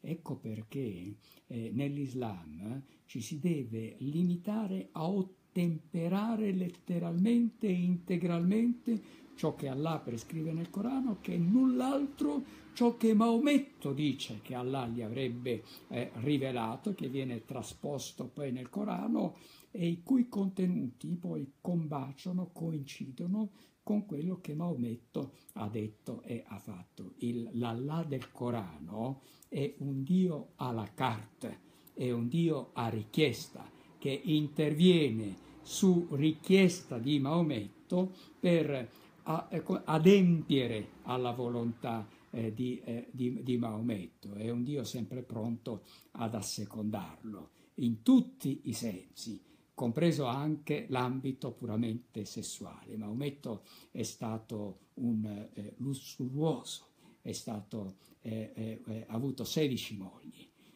contemporaneamente è riuscito ad averne 11 contemporaneamente, anche se poi la moglie prediletta è stata una bambina, Aisha, che lui sposò quando lui aveva 50 anni e lei aveva 6 anni, 6 anni, e consumò il matrimonio quando lei aveva, aveva 9 anni. Ebbene, in tutti questi passaggi Allah legittimò l'azione di Maometto. Ecco perché ho intitolato il mio libro Maometto e il suo Allah perché è un Dio personale, è un Dio esclusivo di Maometto. Quindi diciamo è proprio l'opposto della nostra fede, allora eh, la donna viene sottomessa in maniera brutale, mentre per noi invece la donna è vita. Eh e invece per quanto riguarda la lussuria no, eh, di Maometto e noi invece la nostra, fece, la nostra fede ci insegna la purezza, certo. la castità addirittura prematrimoniale anche se si riesce una castità eh, anche matrimoniale quindi proprio veramente siamo su poli opposti su quest'ultimo punto che hai già eh, estrapolato in base alla domanda che ti volevo fare non so se vuoi aggiungere qualcosa fino a dove e fino a quando un sedicente islamico può discostarsi dal Corano continuando a, defini- a definirsi legittimamente e coerentemente seguace di Allah. Hai già, guarda, parlato prima di questo, non so se vuoi definire ancora qualche dettaglio su questo punto qua o se va bene così. Ma eh, eh, eh, io sono stato musulmano per 56 anni e sono stato il musulmano che più di altri si è impegnato in Italia affinché potesse esserci un Islam moderato. Poi dopo reiterate condanne e minacce di morte per la mia condanna del terrorismo eh, islamico, ho preso atto che i musulmani come persone possono essere moderati, ma l'Islam come religione non è moderato e ho compreso che il musulmano come persona può essere moderato solo se è laico, solo se antepone la ragione e il cuore ad Allah e a Maometto. Quindi noi possiamo dialogare e convivere con quei musulmani che antepongono la ragione e il cuore ad Allah e a Maometto, ma in modo molto più esplicito voglio dire a chi ci ascolta che noi non dobbiamo eh, eh, eh inseguire ciò che Allah prescrive nel Corano o ciò che ha detto e ha fatto Maometto. Lo dobbiamo conoscere, questo è fondamentale,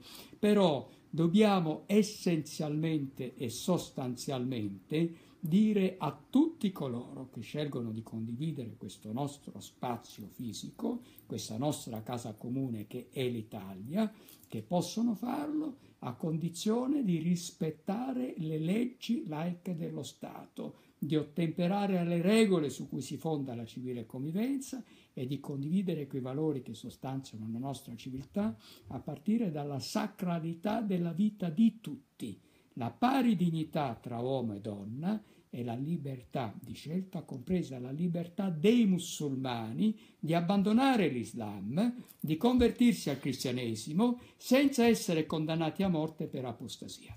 Tu mi anticipi le domande, perché la domanda de- di adesso è assistiamo spesso a parecchie conversioni eh, dell'uomo occidentale all'Islam, anche perché adesso mh, mm, sono molto anche confusi i giovani, perché poi non avendo le regole, perché alla fine i giovani cercano le regole, non avendole più nella nostra realtà, le vanno a cercare adesso in quell'altra che poi sono anche lì poverini.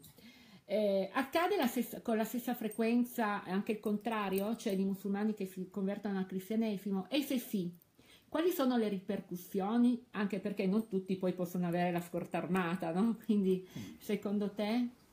Ma eh, eh, le conversioni all'Islam avvengono, come hai ben detto, perché si è alla ricerca di regole, ma soprattutto perché si è alla ricerca di quel senso compiuto che eh, eh, eh, eh fa sì che la vita abbia un senso, quei valori che danno un senso alla vita e che la civiltà decadente dell'Europa ha perso, un'Europa che si vergogna di ciò che noi siamo, un'Europa che disconosce le proprie radici, disconosce la propria fede cristiana, disconosce la propria identità, i propri valori, le proprie regole e che relativizza le proprie leggi, accordando agli altri ciò che non è concesso agli stessi eh, eh, cittadini. Noi sappiamo eh, eh tutto su chi si converte all'Islam, lo può fare pubblicamente, senza, eh, come dire, subire alcunché, ma non sappiamo la realtà inversa, cioè eh, dei musulmani che si convertono al cristianesimo, perché nel caso dell'Islam sono condannati a morte in quanto apostati e anche in Europa subiscono delle vessazioni e talvolta pagano anche con, con la vita. Quindi la tendenza è quello di farlo in modo occulto, in modo, in modo segreto, di non, di non esporsi eh, perché non vogliono mettere a repentaglio la propria vita e la vita dei propri familiari. Io considero questo deplorevole e mi auguro che questa Europa sia in grado di salvaguardare la libertà religiosa a 360 gradi e che sia eh, eh, in grado di garantire la eh, pari libertà anche ai musulmani che si convertono al cristianesimo o anche ad altre fedi o anche a nessuna fede eh, senza eh, dover temere eh, per la propria vita. Ecco, ma allora scusa, adesso parliamo un attimino sui simboli, no? Un po' di questo mondo, il velo. Allora, se il velo che portano le donne è per rispetto ad Allah, allora le chiedo qual è il segno di rispetto per gli uomini? Se invece è un segno di rispetto per i mariti, come mai le donne in casa non lo portano? Quindi rispettano i mariti per la strada ma non dentro casa? O a cosa serve quindi il velo? Spiegacelo meglio. Sì. Ma io eh, ho vissuto per vent'anni, i miei primi vent'anni in Egitto e non c'erano donne velate per le strade del Cairo, la mia città eh, natale. Eppure erano donne musulmane, era una società prevalentemente islamica, ma era una società governata da leggi laiche. Questa è la differenza sostanziale. Il velo ha cominciato a comparire dopo la sconfitta degli eserciti arabi nella guerra del 5 giugno 1967, che ha segnato da un lato il declino del panarabismo, che era un'ideologia che immaginava di fondere in un'unica nazione tutti i paesi arabofoni e dall'altro ha segnato la crescita del panislamismo, che è un'ideologia che vuole sottomettere all'Islam l'intera umanità. Quindi il velo, più che un simbolo religioso, è un simbolo ideologico dove il mettere il velo sottintende l'adesione ad una ideologia, l'adesione ad un fronte, al fronte di quelli che sono impegnati, che sono mobilitati per islamizzare l'intera, l'intera umanità e dove le donne finiscono per convincersi che il velo è una realtà che le, che le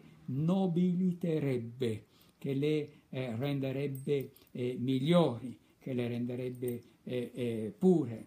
Eh, eh, il, il, problema è che quando nascono in un contesto dove tutte portano il velo, si autoconvincono che il velo sia parte integrante della loro, della loro umanità.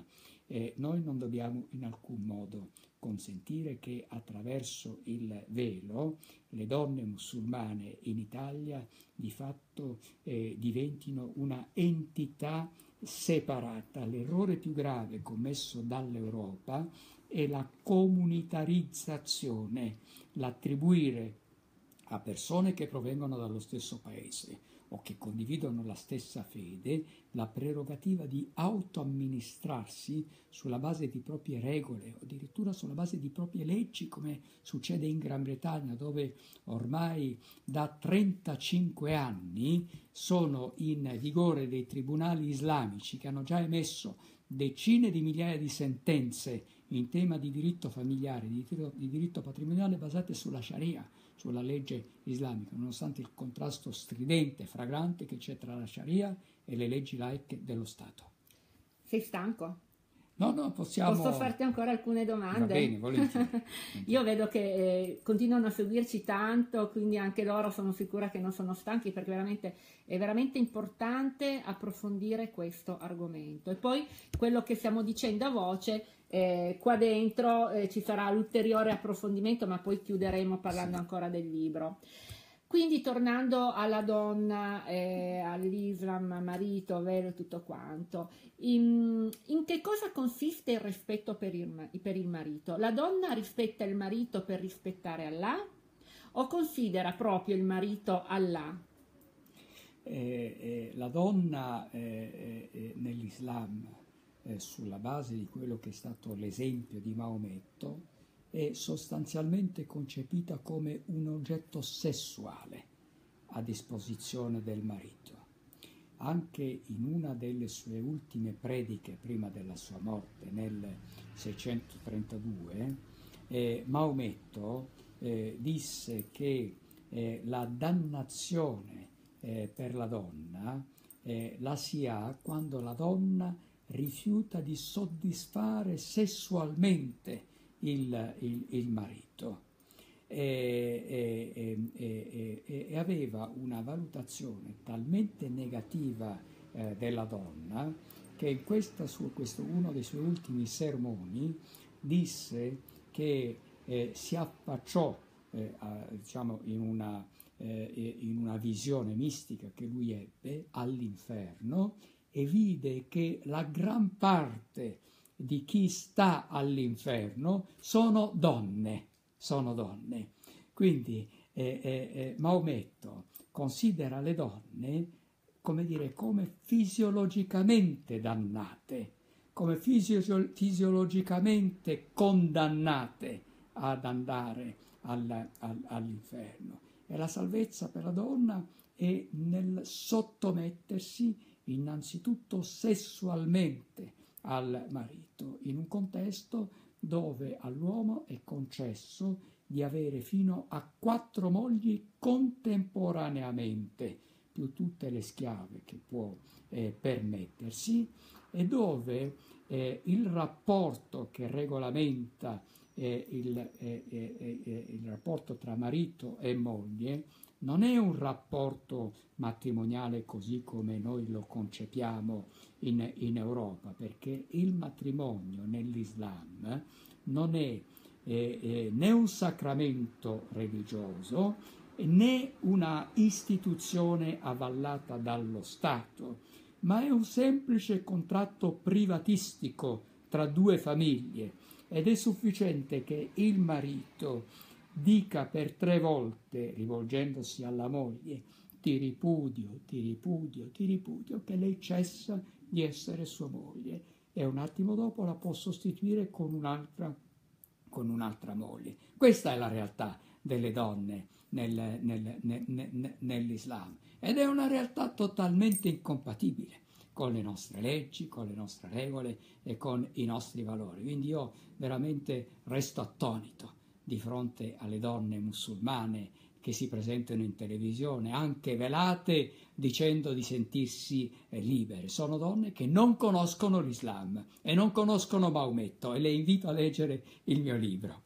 E allora invece ricordo ai cattolici che all'inferno ci va chi fa i peccati gravi, cioè nei peccati gravi ci sono, c'è dieci comandamenti e, e dieci, dieci, comandamenti e comunque non avrai altro Dio al di fuori di me, ricordiamocelo bene, quindi noi abbiamo la Trinità, abbiamo il Dio uno e trino, quindi eh, ricordiamoci che appunto quel peccato lì non è cioè, contemplato se c'è il tradimento del coniuge, non desiderare la donna ad altri, quindi mi raccomando, non facciamo confusione di peccati. Eh? E invece proseguendo con le domande, anche l'Islam, come altre religioni, è affiliata alla massoneria? Eh, eh, diciamo l'Islam eh, come, come, religione è una realtà diciamo, eh, che va considerata nella sua specificità. Eh, poi sicuramente ci sono esponenti islamici affiliati alla massoneria. E, e, e, ci sono dei documenti che hanno attestato, ad esempio, che lo Shah di Persia era affiliato alla massoneria, che l'allora presidente egiziano eh, Sadat, siamo negli anni eh, 70, era affiliato alla, alla massoneria, ci sono anche altri, altri nomi. E, ehm, e, oggi quando guardiamo alla realtà di questo mondo, dove è la grande finanza speculativa che impera e che detta legge, eh, non possiamo eh, non tener conto che in questa realtà confluisce anche una realtà islamica. Quando parliamo di Arabia Saudita, parliamo di Qatar, eh, parliamo di grande, di grande finanza. Eh, pertanto eh, non, non, posso escludere che all'interno di una cupola eh, che governa questo, questo mondo ci sia anche la presenza di islamici. Ecco, perché adesso mi sorge spontanea una domanda, ma secondo te perché il piano di islamizzazione dell'Occidente avviene proprio solo oggi e quali sono le forze invece che lo hanno respinto negli altri tentativi del passato? No, no, c'è sempre stato. Da, da sì, quando... e quali sono state le forze che l'hanno, sono riuscite a respingere? Eh, e oggi perché non ci sono queste forze? Eh, L'Europa si è salvata combattendo contro l'Islam. A Poitiers, a, con la Reconquista, a, a Lepanto, eh, a, a, Vienna. Senza queste vittorie militari eh, anche l'Europa sarebbe già stata islamizzata. Il terrorismo islamico oggi non è altro che il proseguimento eh, di una eh, guerra di invasione eh, che eh, persiste da 1400 anni. Non dimentichiamo che eh, in parallelo alla conquista della Spagna, alla conquista della Sicilia, per 25 anni a Bari c'è stato un emirato islamico, ehm, i corsari che poi altro non erano che predoni islamici, nell'830 e nell'846 per due volte invasero Roma e per due volte saccheggiarono la basilica di San Pietro e la basilica di San Paolo, fuori le mura. E, e, e, e, fu proprio nell'847 che il Papa decise di costruire le mura del Vaticano le mura del Vaticano furono iniziate nell'847 per difendersi dai predoni islamici. Lo dico per quelli che oggi eh, dicono, no, ma soprattutto che dicono che bisogna abbattere i muri. I muri. Le mura del Vaticano sono state erette a difesa dello Stato della Chiesa e a difesa della cristianità. Se non ci fossero le mura del Vaticano, lo Stato della Chiesa si dissolverebbe in due secondi. Facciamo bene attenzione. le mura sono un portato di, eh, di civiltà e i ponti, tanto evocati ponti, i ponti non potrebbero esserci se non ci fossero i muri. Se ci sono, eh, solo se ci sono i muri ci, ci, possono essere i ponti, ma i muri sono quelli che anche difendono la famiglia, la casa. La casa è, è, è, come dire, si sostanzia di mura che difendono il nucleo, il nucleo familiare. Eh, eh, l'assenza di muri significherebbe la giungla, significherebbe la legge del, del più forte, del, la legge del predone. Noi invece dobbiamo volerci del bene, dobbiamo salvaguardare la nostra famiglia, dobbiamo salvaguardare la nostra casa comune, dobbiamo salvaguardare la nostra fede, la nostra civiltà cristiana. Ma infatti il simbolo della famiglia è la casa, certo. adesso che hai detto questo. Mm. Adesso ci spostiamo brevemente su domande sul piano sociologico-politico e poi concludiamo, ok? Allora, il tentato colpo di Stato dell'anno scorso in Turchia, qual è il suo significato nel scacchiere internazionale?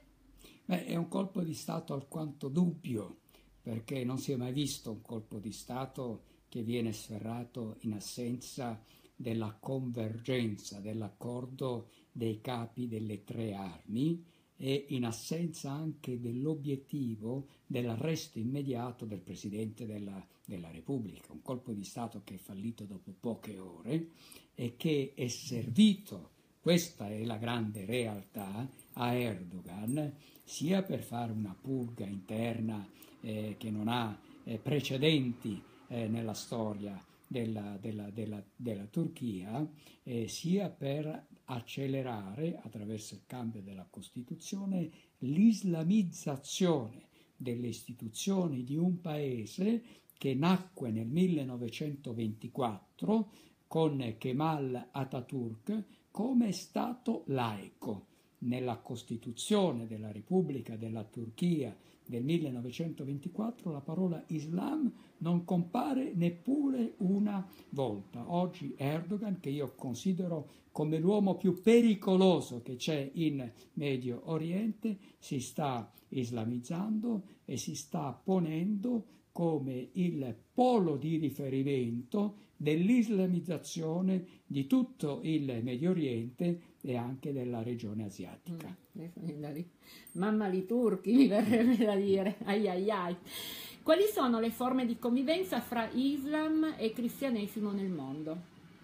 Ah, oggi eh, eh, noi dobbiamo eh, innanzitutto eh, parlare di convivenza tra persone, tra persone, perché la convivenza non è tra le religioni ma tra le persone e nel eh, contestualizzare nel tempo e nello spazio le persone, noi eh, perveniamo alla comprensione che se ad esempio eh, eh, eh ci poniamo la domanda eh, della possibilità o meno della convivenza Infatti era la domanda successiva. tra musulmani e cristiani in Italia, la risposta non può essere che eh, il dialogo e la convivenza possono esserci solo se da parte dei musulmani si rispettano le leggi dello Stato italiano, si ottemperano le regole della società italiana, si condividono i valori della civiltà eh, italiana. Quindi non, la convivenza non è una sorta di eh, eh, territorio neutro dove giorno dopo giorno si sommano le istanze di tutti quelli che arrivano per promuovere una nuova civiltà. Noi non siamo una landa deserta, noi abbiamo una eh, civiltà, abbiamo delle, delle, radici, abbiamo una fede, abbiamo un'identità, dei valori. È su questa piattaforma che noi dobbiamo eh, eh, promuovere il dialogo e la convivenza. Il problema vero è che noi abbiamo dimenticato chi siamo e che oggi ci vergogniamo di chi siamo. Ecco perché ritengo che il problema vero non sia tanto l'arbitrio, l'arroganza e la violenza talvolta degli islamici, ma il problema vero sia la nostra eh, eh, ignoranza, sia la nostra ingenuità, sia la nostra pavidità, sia la nostra paura, la nostra sottomissione al condizionamento degli interessi materiali, il petrolio, il gas, l'accesso ai loro mercati, i petrodollari, i fondi, i fondi sovrani e anche la collusione da parte di alcuni di chi eh, ci governa. Abbiamo citato prima la Boldrini, la Bonini, ma ci si potrebbero fare anche altri nomi mi viene da dire un detto popolare, no? meglio pane e cipolla ma felici, come dire, meglio poco, poveri ma, ma, ma, sicuri a questo punto, perché poi quello che mancherebbe è la sicurezza. No? L'Italia, L'Italia potrebbe essere in assoluto il primo paese al mondo per la qualità della vita. Noi abbiamo tutti i requisiti per vivere, vivere bene, siamo il paese più bello che c'è al mondo, abbiamo il patrimonio culturale più cospicuo dell'umanità, abbiamo uno straordinario patrimonio umano, la creatività degli italiani ci è invidiata in tutto il mondo. Dobbiamo avere una cultura politica e una classe politica che amino gli italiani e che vogliano il bene degli italiani. Infatti siamo mal governati, ma, e lo ripeto, mal governati. E il popolo della famiglia è nato proprio perché siamo stanchi di questa mala gestione fatta oltretutto con malizia, perché metodicamente stanno distruggendo una nazione, cioè loro vogliono distruggere una nazione. Allora noi attivisti del popolo della famiglia, io sono un dirigente del popolo della famiglia, abbiamo preso questo impegno nei confronti prima di tutto dei nostri figli, anzi prima di tutto nei confronti di Dio poi dei nostri figli, ma proprio de, del nostro popolo di difendere strenuamente la nostra nazione. Il popolo della famiglia è nato per questo, difendere i valori della nostra nazione, di difendere la vita, la vita dal concepimento fino alla morte naturale, la famiglia, perché quel nucleo centrale, quel luogo dove ci sono quelle mura di sicurezza della casa, dove comunque si costruisce il futuro e il benessere, non dico economico, ma almeno ehm, di, di, di, di, tranquillità sociale a cui aneliamo tutti quanti. Io condivido, condivido, eh, eh, apprezzo, eh, vi ringrazio e mi auguro che il popolo della famiglia possa, possa crescere, eh, possa eh, illuminare elementi, fortificare gli animi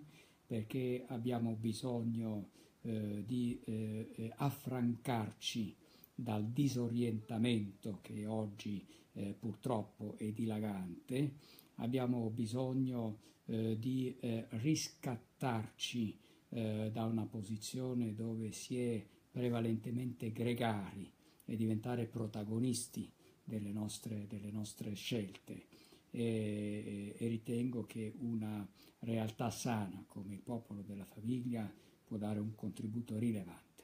Ecco, mi viene proprio in mente subito un parallelismo, no? Movimento politico nuovo a difesa veramente, l'ultimo baluardo veramente di difesa di questa veramente catastrofe che ci sta circondando il popolo della famiglia e il parallelismo è so che c'è comunque un, un partito islamico che si sta formando, no? Quindi quali saranno secondo te le prime rivendicazioni del nuovo partito islamico eh, sia sul piano politico se, che su quello sociale se ciò avvenisse? Eh, loro eh, lo hanno detto con grande, con grande chiarezza. Bisogna eh, prendere atto che eh, eh, chi eh, vuole realmente promuovere l'Islam e si attiene a ciò che Allah prescrive nel Corano e a ciò che ha detto e ha fatto Maometto, poi si manifesta con grande onestà. tutto ciò che eh, è presente nell'Islam è totalmente incompatibile con le nostre leggi, quando si parla di donna per esempio, eh, quando si parla di poligamia, eh, eh, eh quando si parla eh, di diritto penale, delle, delle, delle, sanzioni corporali vigenti in seno alla, alla, alla, alla Sharia, quando si parla eh, di eh, eh, eh, diritto della famiglia. Tutto questo evidenzia un profondo contrasto tra la Sharia, tra la legge islamica, ma vorrei aggiungere che ad oggi, e, e, di questo purtroppo non se ne parla, ma ad oggi l'Islam non è una religione riconosciuta dallo Stato italiano. Eh, noi parliamo tanto di moschee, parliamo tanto eh, di imam, di formazione degli imam, eh, eh, di accordi eh, tra il Ministero dell'Interno e le cosiddette associazioni islamiche, ma tutto questo eh, si porta avanti nonostante che ad oggi l'Islam non è riconosciuto dallo Stato. L'articolo 8 della nostra Costituzione prescrive due condizioni affinché le religioni possano beneficiare di pari libertà di fronte alla legge. La prima è che l'ordinamento della religione non sia in contrasto con le leggi dello Stato e la Sharia è totalmente in contrasto con le leggi dello Stato. La seconda è che la religione abbia stipulato un'intesa con lo Stato. L'Islam non ha stipulato nessuna intesa con lo Stato e anche questo è di per sé una sottomissione all'Islam perché si concedono ai musulmani dei diritti e delle prerogative che dovrebbero essere conseguenti alla legittimazione dell'Islam e non eh, precedenti. Noi diamo loro qualcosa che potrebbero avere solo dopo il riconoscimento e anche qui c'è una grande confusione, ma c'è soprattutto la sottomissione ideologica all'Islam. Guarda, la domanda che ti sto per fare adesso eh, va a toccare un argomento che mi sta particolarmente a cuore. Io sono nel popolo, nel in questo nuovo movimento, Popolo della Famiglia, per un unico motivo, perché si può fare politica mettendo Dio al centro. E secondo me è l'unico modo per fare politica, eh, perché comunque la nostra fede, eh, il cristianesimo, ha dato, come dire, mh, si è visto nei secoli che ha sempre portato vita, prosperità, perché mettendo nostra, la nostra fede ci insegna ad amare l'altro, cioè attraverso l'amore di Dio, no? Quindi questo è l'unico motivo. Ma come mai ehm, si può definire così mh, chiaramente un partito islamico e invece quando si parla di un partito cattolico bisogna dirlo così un po' tra le righe, un po' eh, chiaro, questo chiaro scuro, no? Cioè io no, perché chiaramente dico sono nel movimento perché si può fare politica in nome di Dio, perché altrimenti non ci sarei. Ma perché appunto si può dire partito eh, musulmano e non si può dire con altrettanta chiarezza partito cattolico, secondo te? Ma anche qui eh, noi tocchiamo con mano il fatto che eh, non solo ci vergogniamo di chi siamo, ma non ci vogliamo più del, del bene. Io mi sono reso conto eh, nel mio piccolo che eh, eh dopo la mia conversione al cristianesimo nel 2008 eh, con il dono immenso di ricevere il battesimo, la cresima, l'Eucaristia dalle mani del Papa Benedetto XVI in San Pietro nella notte della veglia pasquale, era il 22 marzo del 2008, mi resi conto che le stesse cose che scrivevo o che dicevo da musulmano e che andavano bene a tutti perché venivano considerate come espressione di una manifestazione libera di un intellettuale musulmano eh, laico e liberale, dette da cattolico esattamente le stesse cose, non andavano più bene, perché venivano considerate come espressione della manifestazione di un cattolico integralista. Eppure erano le stesse cose, compresi che oggi in Italia è più facile essere apprezzati come musulmani che non come cattolici. Infatti, e allora proprio in virtù di questo, di questo apprezzamento, tu come prevedi che sia l'influenza di un eventuale riconoscimento, di un eventuale partito islamico in Italia, sia nei confronti del popolo italiano, sia nel sistema educativo pubblico italiano, quindi cosa verrebbe insegnato ai nostri figli, perché poi il nucleo centrale del nostro discorso è i nostri figli e il futuro dei nostri figli. Ma bisogna dire che ancora prima della nascita di un partito islamico eh, eh, eh, sono le stesse istituzioni che stanno promuovendo una diffusa islamizzazione eh, nel momento in cui eh, si relativizza l'insegnamento religioso nelle scuole, eh, nel momento in cui si trasmette una versione dell'Islam del tutto edulcorata e spiace a dirlo, e lo dico con grande amarezza, che eh, eh, eh, eh anche da parte della Chiesa, nel momento in cui eh, si afferma che Islam, cristianesimo e ebraismo adorerebbero lo stesso Dio e sarebbero tutte in ugual modo delle religioni eh, di pace, nel momento in cui quando si deve inaugurare una moschea, e oramai è diventato un rito, eh, è presente sia il sindaco, ma sia anche il parroco, o talvolta il vescovo della, della, della, della zona, eh, proprio per legittimare la realtà dell'Islam sul, sul territorio. Tutto questo è, è un qualcosa che ci fa eh, comprendere che l'islamizzazione è già in atto. E poi non dimentichiamo mai l'aspetto demografico che è il nostro vero tallone eh, d'Achille, cioè eh, noi oggi stiamo subendo un'accelerazione nell'islamizzazione proprio per l'aspetto demografico, quando eh, in un contesto di società italiana dove la fascia di anziani cresce sempre di più e dove invece la fascia giovanile si sostanzia sempre di più di giovani eh, musulmani, noi siamo a rischio, siamo a rischio perché saranno loro a decidere eh, il, il, il futuro. Ecco perché bisogna bloccare subito le frontiere, bisogna chiudere eh, i porti e bisogna aiutare le famiglie italiane. Ecco perché apprezzo l'iniziativa, il messaggio del popolo della famiglia. Noi dobbiamo mettere le famiglie italiane nella condizione di generare figli italiani perché è attraverso i figli italiani che noi potremo tramandare la nostra fede e la nostra civiltà cristiana. Infatti, non svendiamoci amici, non svendiamoci. Allora ancora proprio di figli, parliamo anche di figli con disabilità. Secondo te come vengono considerate le persone nate con disabilità nelle scuole islamiche e nella società islamica? Ma in, in generale eh, eh, non c'è un'attenzione eh, eh particolare per eh, le persone, le, persone, disabili.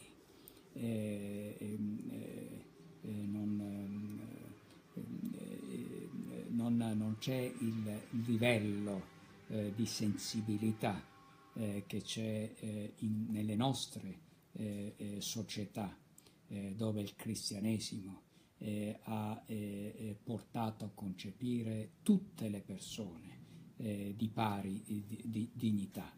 e mi auguro che questo valore non venga, non venga, mai meno, come purtroppo rischia di accadere anche considerando la la vicenda a proposito di disabilità eh, del piccolo eh, Charlie Gard Infatti. di 10 mesi eh, che ha una disabilità, una forte disabilità, ma che è un essere vivente e dove stiamo assistendo ad un'atrocità, dove dei medici e un magistrato e un giudice lo hanno condannato a morire, e dove per fortuna c'è stata una mobilitazione da parte dell'opinione pubblica, eh, si è mosso sia l'ospedale Bambino Gesù, che appartiene al Vaticano, eh, sia il presidente americano Trump, eh, eh e ci auguriamo che questo bambino abbia la possibilità di continuare a restare in vita, perché la vita è comunque eh, sacra. Se dovesse passare il principio che la persona disabile che la persona non produttiva debba essere eliminato, introdurremmo eh, una ideologia eutanasica eh, che riesumerebbe il peggior nazismo, che eh, non più sulla base eh, dell'affermazione della purezza della razza, ma sulla base dell'affermazione eh, della eh, ehm, eh, eh, della, della, eh, di una umanità eh, produttiva e produttiva a basso costo, produttiva a basso costo, si ha diritto o meno di vivere, Che cosa significa? Che arriveremo ad esempio a 70 anni, a 80 anni, a 90 anni e diranno tu non servi più per la società, sei solo un peso eh, economico e quindi noi ti facciamo fuori. Noi dobbiamo combattere questa forma di eutanasia che a partire dal caso del piccolo Charlie Gardner si vorrebbe accreditare. Guarda, ho visto che c'era la dottoressa Silvana De Mari che ti sì. chiamava, secondo me è uno sì. scoop, vogliamo sentirla, la mettiamo in viva voce, sì. perché a questo punto, scusa, eh, la chiami tu? o la, chiam- la, chiamo io, la chiamo io così, così magari facciamo un dialogo a tre con la dottoressa Silvana De Mari che cioè, io no, non vedo più qui la chiamo l'immagine, io, la chiamo io, però si vede, sì. Si sente, adesso la mettiamo in viva voce, vediamo che cosa ha da dirci la dottoressa Silvana De Mari. perché ci stava chiamando. Pronto? Silvana, sei in viva voce, noi siamo in diretta, ci stai seguendo? Ciao Silvana. Ciao Magdi, volevo dirvi che siete stati straordinari. Siete straordinari presi uno per uno. Sei, sei in diretta, sei in diretta eh? Ti stai rivolgendo a tutti, quindi ripeti, chi è straordinario? Magdi? E, e stai dicendo, e, scusa? Tu. Eh, ah. Siete straordinari presi ognuno per uno e messi insieme avete fatto scintille. Grazie. Eh, quindi vi ringrazio, ringrazio moltissimo Magdi che come sempre è stato super attivo, ci ha detto cose che può dirci solo lui. Possiamo anche scoprirle sui libri se siamo molto informati, ma lui ce le può dire dal di dentro. Lui ce le può dire tra l'altro con una precisione, con una cultura che non ha nessun altro. Grazie Silvana. Sei stata bravissima a condurre l'intervista. Allora guarda Silvana, facciamo una cosa, se io e Magdi abbiamo fatto scintille, faremo una diretta io, Magdi e te e faremo fuochi d'artificio.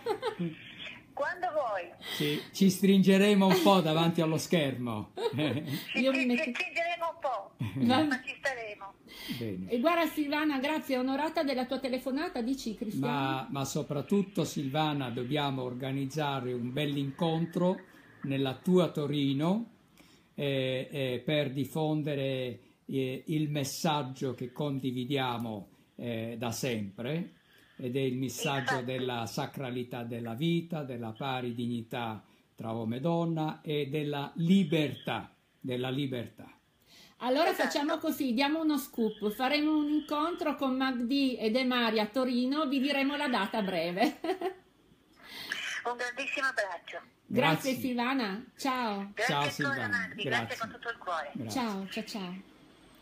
Allora, continuo le ultime domande, abbiamo quasi finito, perché oltretutto sono anche importanti queste. Allora, perché l'Italia si discosta così palesemente dalle politiche di accoglienza di tutti gli altri paesi europei? Abbiamo proprio notizia recentissima, Gentiloni, anche lui, non bastava Boldrini, non bastavano gli altri, pure Gentiloni, che dice non accetto lezioni dai nostri vicini, rivolgendosi al ministro ungherese che aveva consigliato all'Italia di chiudere i suoi porti per bloccare appunto i flussi migratori del Mediterraneo. Ecco. Dimmi eh, come mai secondo te l'Italia proprio è così caparbiamente arroccata su questa, su questa linea? Ma eh, eh, grazie alle confessioni, chiamiamole così, di Emma Bonino, recentissime, abbiamo scoperto che nel 2014 Matteo Renzi, che all'epoca era capo del governo, ha eh, eh sottoscritto un accordo eh, con l'Europa chiedendo che tutti quelli che fuggono, tra virgolette fuggono, perché in realtà siamo noi che incentiviamo questo esodo dalla costa libica, arrivino tutti in Italia.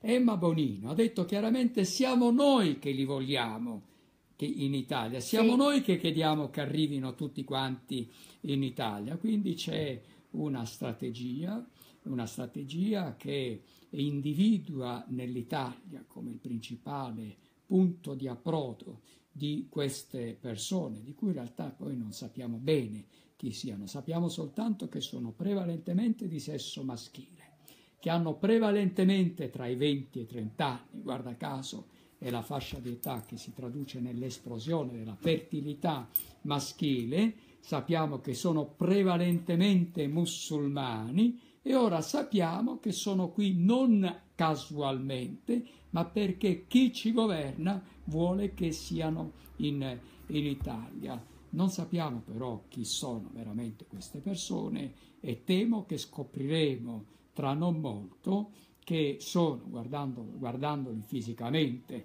eh, eh, sono persone che la fame non l'hanno mai conosciuta nella loro vita, sono tutti di sana e robusta costituzione, sì. alcuni sembrano dei palestrati, scopriremo che sono l'avanguardia di un esercito islamico venuto sia per sostituirci etnicamente, sia per conquistarci e sottometterci all'Islam. Quindi mi auguro che chi ci governi sia illuminato dalla verità e che ad un certo punto comprenda che deve rispondere del proprio operato non ai poteri finanziari forti che li hanno messi nelle loro posizioni, a partire da Mario Monti nel 2011, che è stato eh, chi più di altri incarna la grande finanza speculativa e globalizzata, ma devono rispondere del loro operato agli italiani che stanno subendo un crimine epocale. L'Italia era uno Stato ricco, si sta trasformando in una popolazione sempre più povera e ora questa popolazione sempre più povera rischia di essere sovvertita e trasformata in un meticciato, così come rischia di essere islamizzata. Sana e robusta Costituzione, a nessuno manca il cellulare. Brava. A nessuno manca il cellulare e comunque eh, il popolo italiano che ha lavorato eh, nei secoli passati per costruire quel benessere dovuto al loro lavoro, adesso quel benessere precedente è messo a servizio di questi eh, finti poveri che dobbiamo, stanno arrivando. Dobbiamo okay? mobilitarci e dobbiamo insorgere per riscattare il nostro inalienabile diritto ad essere pienamente noi stessi dentro casa nostra. Noi non vogliamo fare le guerre a nessuno, non vogliamo combattere i musulmani nel mondo, ma abbiamo il sacrosanto diritto di salvaguardare il nostro inalienabile diritto ad essere pienamente noi stessi dentro casa nostra e a tramandare ai nostri figli e ai nostri nipoti, per chi come me è già orgogliosamente nonno, il diritto alla vita, alla dignità e alla libertà. Guarda, ha telefonato la De Mari. L'ultima domanda era, combinazione era in tema con lei, come vengono considerate le persone di, orienta- di orientamento eh, sessuale omoerotico e, e, quindi non c'è forse una contraddizione fra la, normalizzazione dell'omofilia con la, eh, l'islamizzazione in Italia. Cioè in Italia ci vogliono far passare per buona l'omofilia, allo stesso tempo vogliono eh, islamizzarci, ma l'Islam, per quel che mi risulta, spiegacelo meglio tu, uccide gli omofili, eh, gli, omofili, quindi dici che senso ha? No, eh, noi per nostra fortuna siamo in uno Stato di diritto che riconosce e salvaguarda il diritto alla vita di tutti, a prescindere da quello che può essere la propria fede, la propria, eh, il proprio paese di origine, il proprio orientamento sessuale. L'Islam invece condanna a morte gli omosessuali.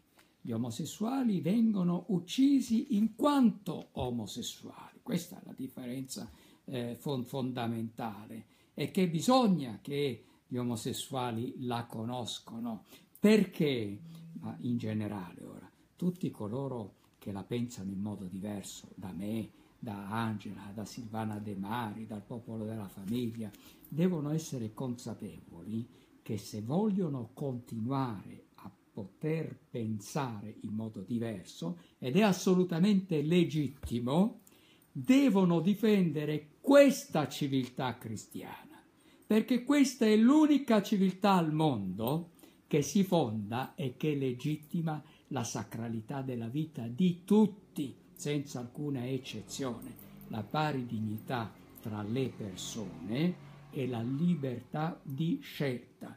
Quindi se volete continuare a poterla pensare in modo diverso, bisogna tenerci stretti questa civiltà. Non dobbiamo promuovere lo scardinamento di questa civiltà, non dobbiamo promuovere l'islamizzazione della nostra società. Quindi diciamo che il nostro sindaco appendino 5 Stelle che sta eh, pensando solo a due cose, tra l'altro l'unica cosa pubblica che ha fatto extra Gay Pride è finita nella catastrofe in piazza San Carlo, lei è concentrata solo sui Gay Pride e sulla ehm, islami- integrazione islamica, eh, oltre ad avere le idee confuse, non, no, non, non, sa bene appunto eh, cosa fare, perché sta, sta, sta spingendo due cose opposte. Quindi diciamo, sì. come sindaco...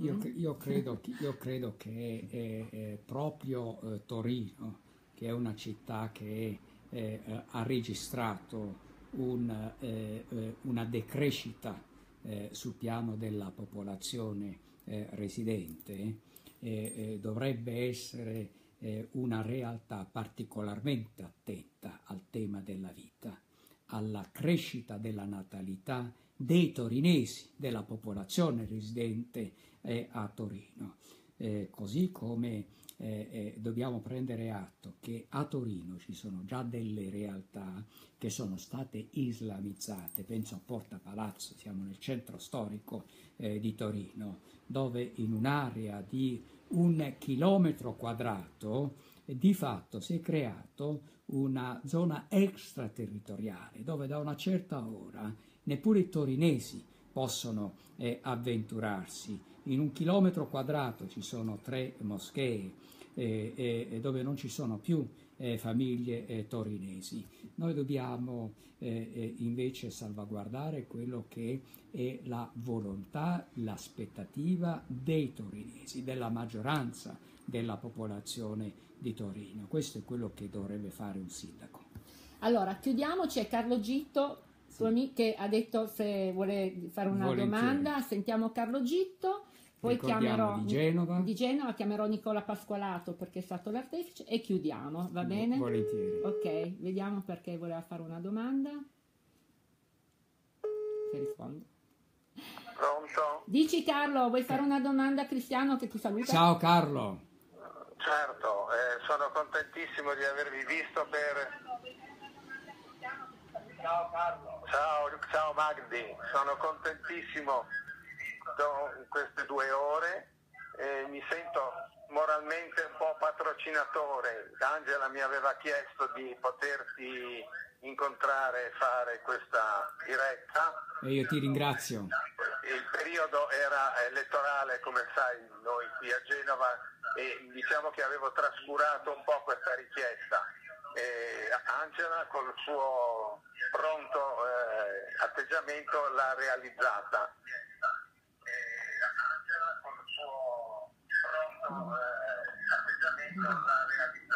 Tra l'altro, tra l'altro ho segnalato, dopo che la diretta era iniziata da poco, a una nostra amica comune, Magdi, che si chiama Sara, eh, come fa di cognome Sara? E lei mi ha risposto lo guidi. Ah guidi. certo come no una mia cara amica certo. Lo sto seguendo lo sto seguendo. Bene. Eh, eh, bene. diciamo che eravamo eh, voi due lì e noi anche se una a Genova e un'altra a Milano a seguirvi quindi tutta Italia ci sta seguendo. Benissimo perché l'argomento è importante e fondamentale. Allora ti salutiamo, caro. Vuoi fare una domanda specifica? Grazie. Un abbraccio a tutte e due. Grazie, grazie Carlo. Ciao. Ciao. Boh, rimbomba. Va benissimo. Allora io vorrei concludere a questo punto eh, di nuovo con il tuo libro, ma vorrei farti una, un'ultima domanda. Ma quando tu hai scritto questo libro, guardate bene la copertina verde, ma ometto il foulà, pensavi di fare un libro musul- rivolto ai musulmani o rivolto a, ai cattolici, rivolto all'Islam o rivolto a, all'Occidente? Eh, rivolto eh, eh a tutti, rivolto eh, a tutti gli italiani, è un libro che attualmente è in lingua italiana, quindi rivolto a tutti gli italiani nella consapevolezza che si sa poco o nulla di Maometto, pur essendo il personaggio chiave per conoscere la realtà dell'Islam. Ed è un libro eh, eh, le cui fonti sono inoppugnabili. L'autore vero del libro non è Magdi Cristiano Alla, ma è Maometto.